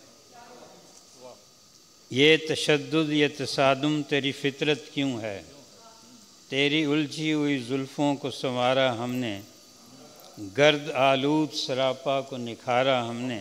क्या कहें? हम तेरा नाज बने वो का तो एजाज बने। वाह। सरहदें खून से रंगीन हुई अम्र हुई। हरफ व दानिश की गुजरगाहों पर नौजवानों की उमंगों का लहू फैल गया। क्या कहें क्या कहें। तेरी आँखों में नमी आई न माथा भीगा। वाह। है मेरे अहद जफाजाद जुनू खेज़ बता। तेरी आँखों में नमी आई न माथा भीगा। अब ज़रा दस्ते सितम रोक के ये गौर तो कर। कोई मौसम तो हो रानाई का दिलदारी का। वाह क्या कोई मौसम तो हो रानाई का दिलदारी का इस खराबे में कभी बाद वफा भी तो चले। बहुत शुक्रिया। ये नज़म सुनते हुए मुझे एक बात याद आई शाम साहब के ही हवाले से। एक तकरीब में हमारी मुलाकात हुई। तो उसके अख्ताम पर एक नौजवान से इन्होंने मुझे मिलवाया और कहा कि ये मेरा पोता है और इसे भी शायरी का शौक़ है। तो मैंने पूछा कि कुछ लिख रहा है? तो शाम साहब ने कहा कि नहीं, अभी पढ़ रहा है। तो उस वक्त ये हुआ कि ये बात शाम साहब ही कर सकते हैं। किसी को लिखने से रोक कर पढ़ने की जानब रागब करना, मुताला, उसके बग़ैर कोई कुछ भी नहीं कर सकता। तो ये मैसेज भी है हमारे सीनियर्स की जानब से आप सबके लिए। आप जानते हैं कि ये प्रोग्राम जैसा मैंने पहले भी अर्ज़ किया कि मेंबर लाइजन कमेटी की जानब से आपकी खिदमत में ख़ास तौर पर शाह साहब की निगरानी में और उनकी खसूसी दिलचस्पी के साथ पेश किया गया। और इसमें हमने जिद्दत पैदा करने की कोशिश की। इसके साथ ही अ, मैं शकील ख़ान साहब जो कि डायरेक्टर हैं आर्ट्स काउंसिल के मैं उनसे मुलतमस हूँ कि वो आर्ट्स काउंसिल करा, पाकिस्तान कराची की जानब से कुछ कलमात पेश करें। या आप सबका शुक्रिया भी अदा करेंगे। रहीम मोज़ ख़वान हजरात शुक्रिया। हम सबको मिलकर शाम साहब का और पीरजादा साहब का अदा करना चाहिए कि यहाँ तशरीफ़ लाए। हम वो खुशकस्मत लोग हैं कि जो इनसे मिलते हैं इनसे बात करते हैं इनको सुनते हैं। तो हमें तो शुक्रिया इनका अदा करना चाहिए। मैं आप तमाम ख़वातीन हजरात का को ये बताने में फ़ख्र महसूस करता हूँ कि उनतीस फरवरी 2024 को ये जो भी गवर्नर साहब यहाँ बैठे हुए हैं कि जिनका फ़ोन बज रहा है बज रहा है बार बार अगर वो फ़ोन को बंद कर लें तो बड़ा अच्छा हो जाएगा। हम में से कोई भी गवर्नर नहीं है कि जिसका फ़ोन आना ज़रूरी हो। ठीक है ना? तो और हमेशा भी ये एहतियात रखें कि आइंदा भी जब यहाँ पर लोग ऐसे शाम साहब बैठे हुए हैं दीगर लोग बैठे हुए हैं पीरजादा साहब बैठे हुए हैं जो भी है तो हम अपने फ़ोन को साइलेंट पे कर लें हमें से कोई भी इतना ठीक है ना? तो मेरी ख्वाहिश यही होती है जनाब। तो इसलिए कि शाम साहब के सामने बात करना और फिर मोबाइल बजना और पीरजादा साहब के सामने तो ये तो बड़ी अजीब सी बात है कि हमको ये इन इनको डिस्टर्ब करें हम। आ, सर मैं ये बता रहा था कि उनतीस फरवरी 2024 को हम सब दोबारा यहाँ जमा होंगे और इससे ज़्यादा तादाद में जमा होंगे। शाम साहब की किताब की हम रनुमाई करेंगे यहाँ पर। और उस वक्त भी इसी तरह से कोशिश करेंगे कि जश्न मनाएँ। वो लोग के जो अपने आप को नौजवान समझते हैं आज तक, उनको हम यहाँ नहीं बुलाएँगे। शायद कुछ बूढ़ों को बुला लें कि जो बूढ़े शोरा कराम हों, ताकि उनको ये एहसास हो कि भाई वो बड़े दिन गुजार चुके हैं। तो तो कुछ नाम नहाद नौजवानों को बहरहाल कोशिश करेंगे कि जो मुझे मतलब पीरजादा साहब के गुलाब लहजे में तो मैं बात ही नहीं कर सकता। मेरा लहजा तो चूँकि ऐसा करख्त है, बिल्कुल अजीब सा तो इसलिए पीर पीर साहब का तो जो लहजा है, वो बड़ा गुलाब लहजा है। उस गुलाब लहजे में बात करना तो बड़ा मुश्किल होता है। लेकिन जो शाम साहब की सबसे खूबसूरत मतलब जो मुझे सबसे ज़्यादा अच्छी लगती है चीज़, वो है कि रंग पर आई हुई बज्म पिघलते हुए लोग। शाम साहब, इजाज़त है? मैं, अगर आप इजाज़त दें तो मैं कोशिश करूँ मैं कुछ पढ़ने की। रंग पर आई हुई बज्म पिघलते हुए लोग अपनी तहलील के मंजर पे मचलते हुए लोग मरमरी जिस्म की ख्वाहिश में फिसलते हुए लोग अपने पिंदार के जंदा से निकलते हुए लोग। गो के मैं इस, इस मामले में शाम साहब से बहुत सारा इख्तलाफ करता हूँ कि जितना सख्ती से वो बात करते हैं आजकल। इसलिए कि वो दूसरे वाले को भी मैं तो बहुत ज़्यादा पसंद नहीं करता। कभी आइन कभी अमन तो इंसाफ कभी। उम्र भर इन्हीं खिलौनों से बहलते हुए लोग। मिस्र Baghdad Yemen, Libya, Tunis, Bahrain. मिस्र Baghdad Yemen, Libya, Tunis, Bahrain. अपने किरदार शब रोज़ बदलते हुए लोग। और जो, ये देखिए कि ये ये शेर जो है ना, ये शायद ये हमारी सोसाइटी जो पिछले 45 सालों में जिस जगह पर पहुँची है, अपने जोग्राफिए के जबर से लर्जा तारीख, अपने जोग्राफिए के जबर से लर्जा तारीख, अपनी तहजीब, अकायद से कुचलते हुए लोग हमने अपनी सारी तहजीब को अकायद से मसलक से और पता नहीं किन किन चीज़ों से कुचल दिया। आते लम्हों के लिए अज़म न जा, गम जाते हुओं का। आते लम्हों के लिए अज़म न गम जाते हुओं का हम हैं तूफ़ान के रस्ते पे टहलते हुए लोग। फुर्सत इश्क नहीं जुर्रत इजहार नहीं ये हैं जीवन में ही परछाई में ढलते हुए लोग। तो मुझे चूँकि ये शाम साहब की बहुत ही मतलब ये पसंद है और मैं कोशिश करता हूँ कि इससे कुछ ना कुछ इंस्पायरेशन हासिल करता रहूँ, कुछ ना कुछ सीखता रहूँ। तो मेरे, मेरी दरख्वास्त मैं आप सबका शुक्रगुजार हूँ। इसलिए नहीं कि आप यहाँ आए, आपको आना चाहिए था। शाम साहब को सुनने के लिए पीरदादा साहब को सुनने के लिए, इनसे मिलने के लिए, इनसे बात करने के लिए, और आइंदा भी हम पीर साहब पीर साहब को तो तकलीफ़ देते ही रहते हैं। शाम साहब के साथ हम उनतीस फरवरी को फिर बैठेंगे यहाँ, साढ़े छः बजे शाम। मगरिब की नमाज़ के फ़ौर बाद हम प्रोग्राम शुरू कर देंगे। खाना मौजूद है, खाना खाइए, साथ मिलकर खाना खाते हैं। बहुत बहुत शुक्रिया।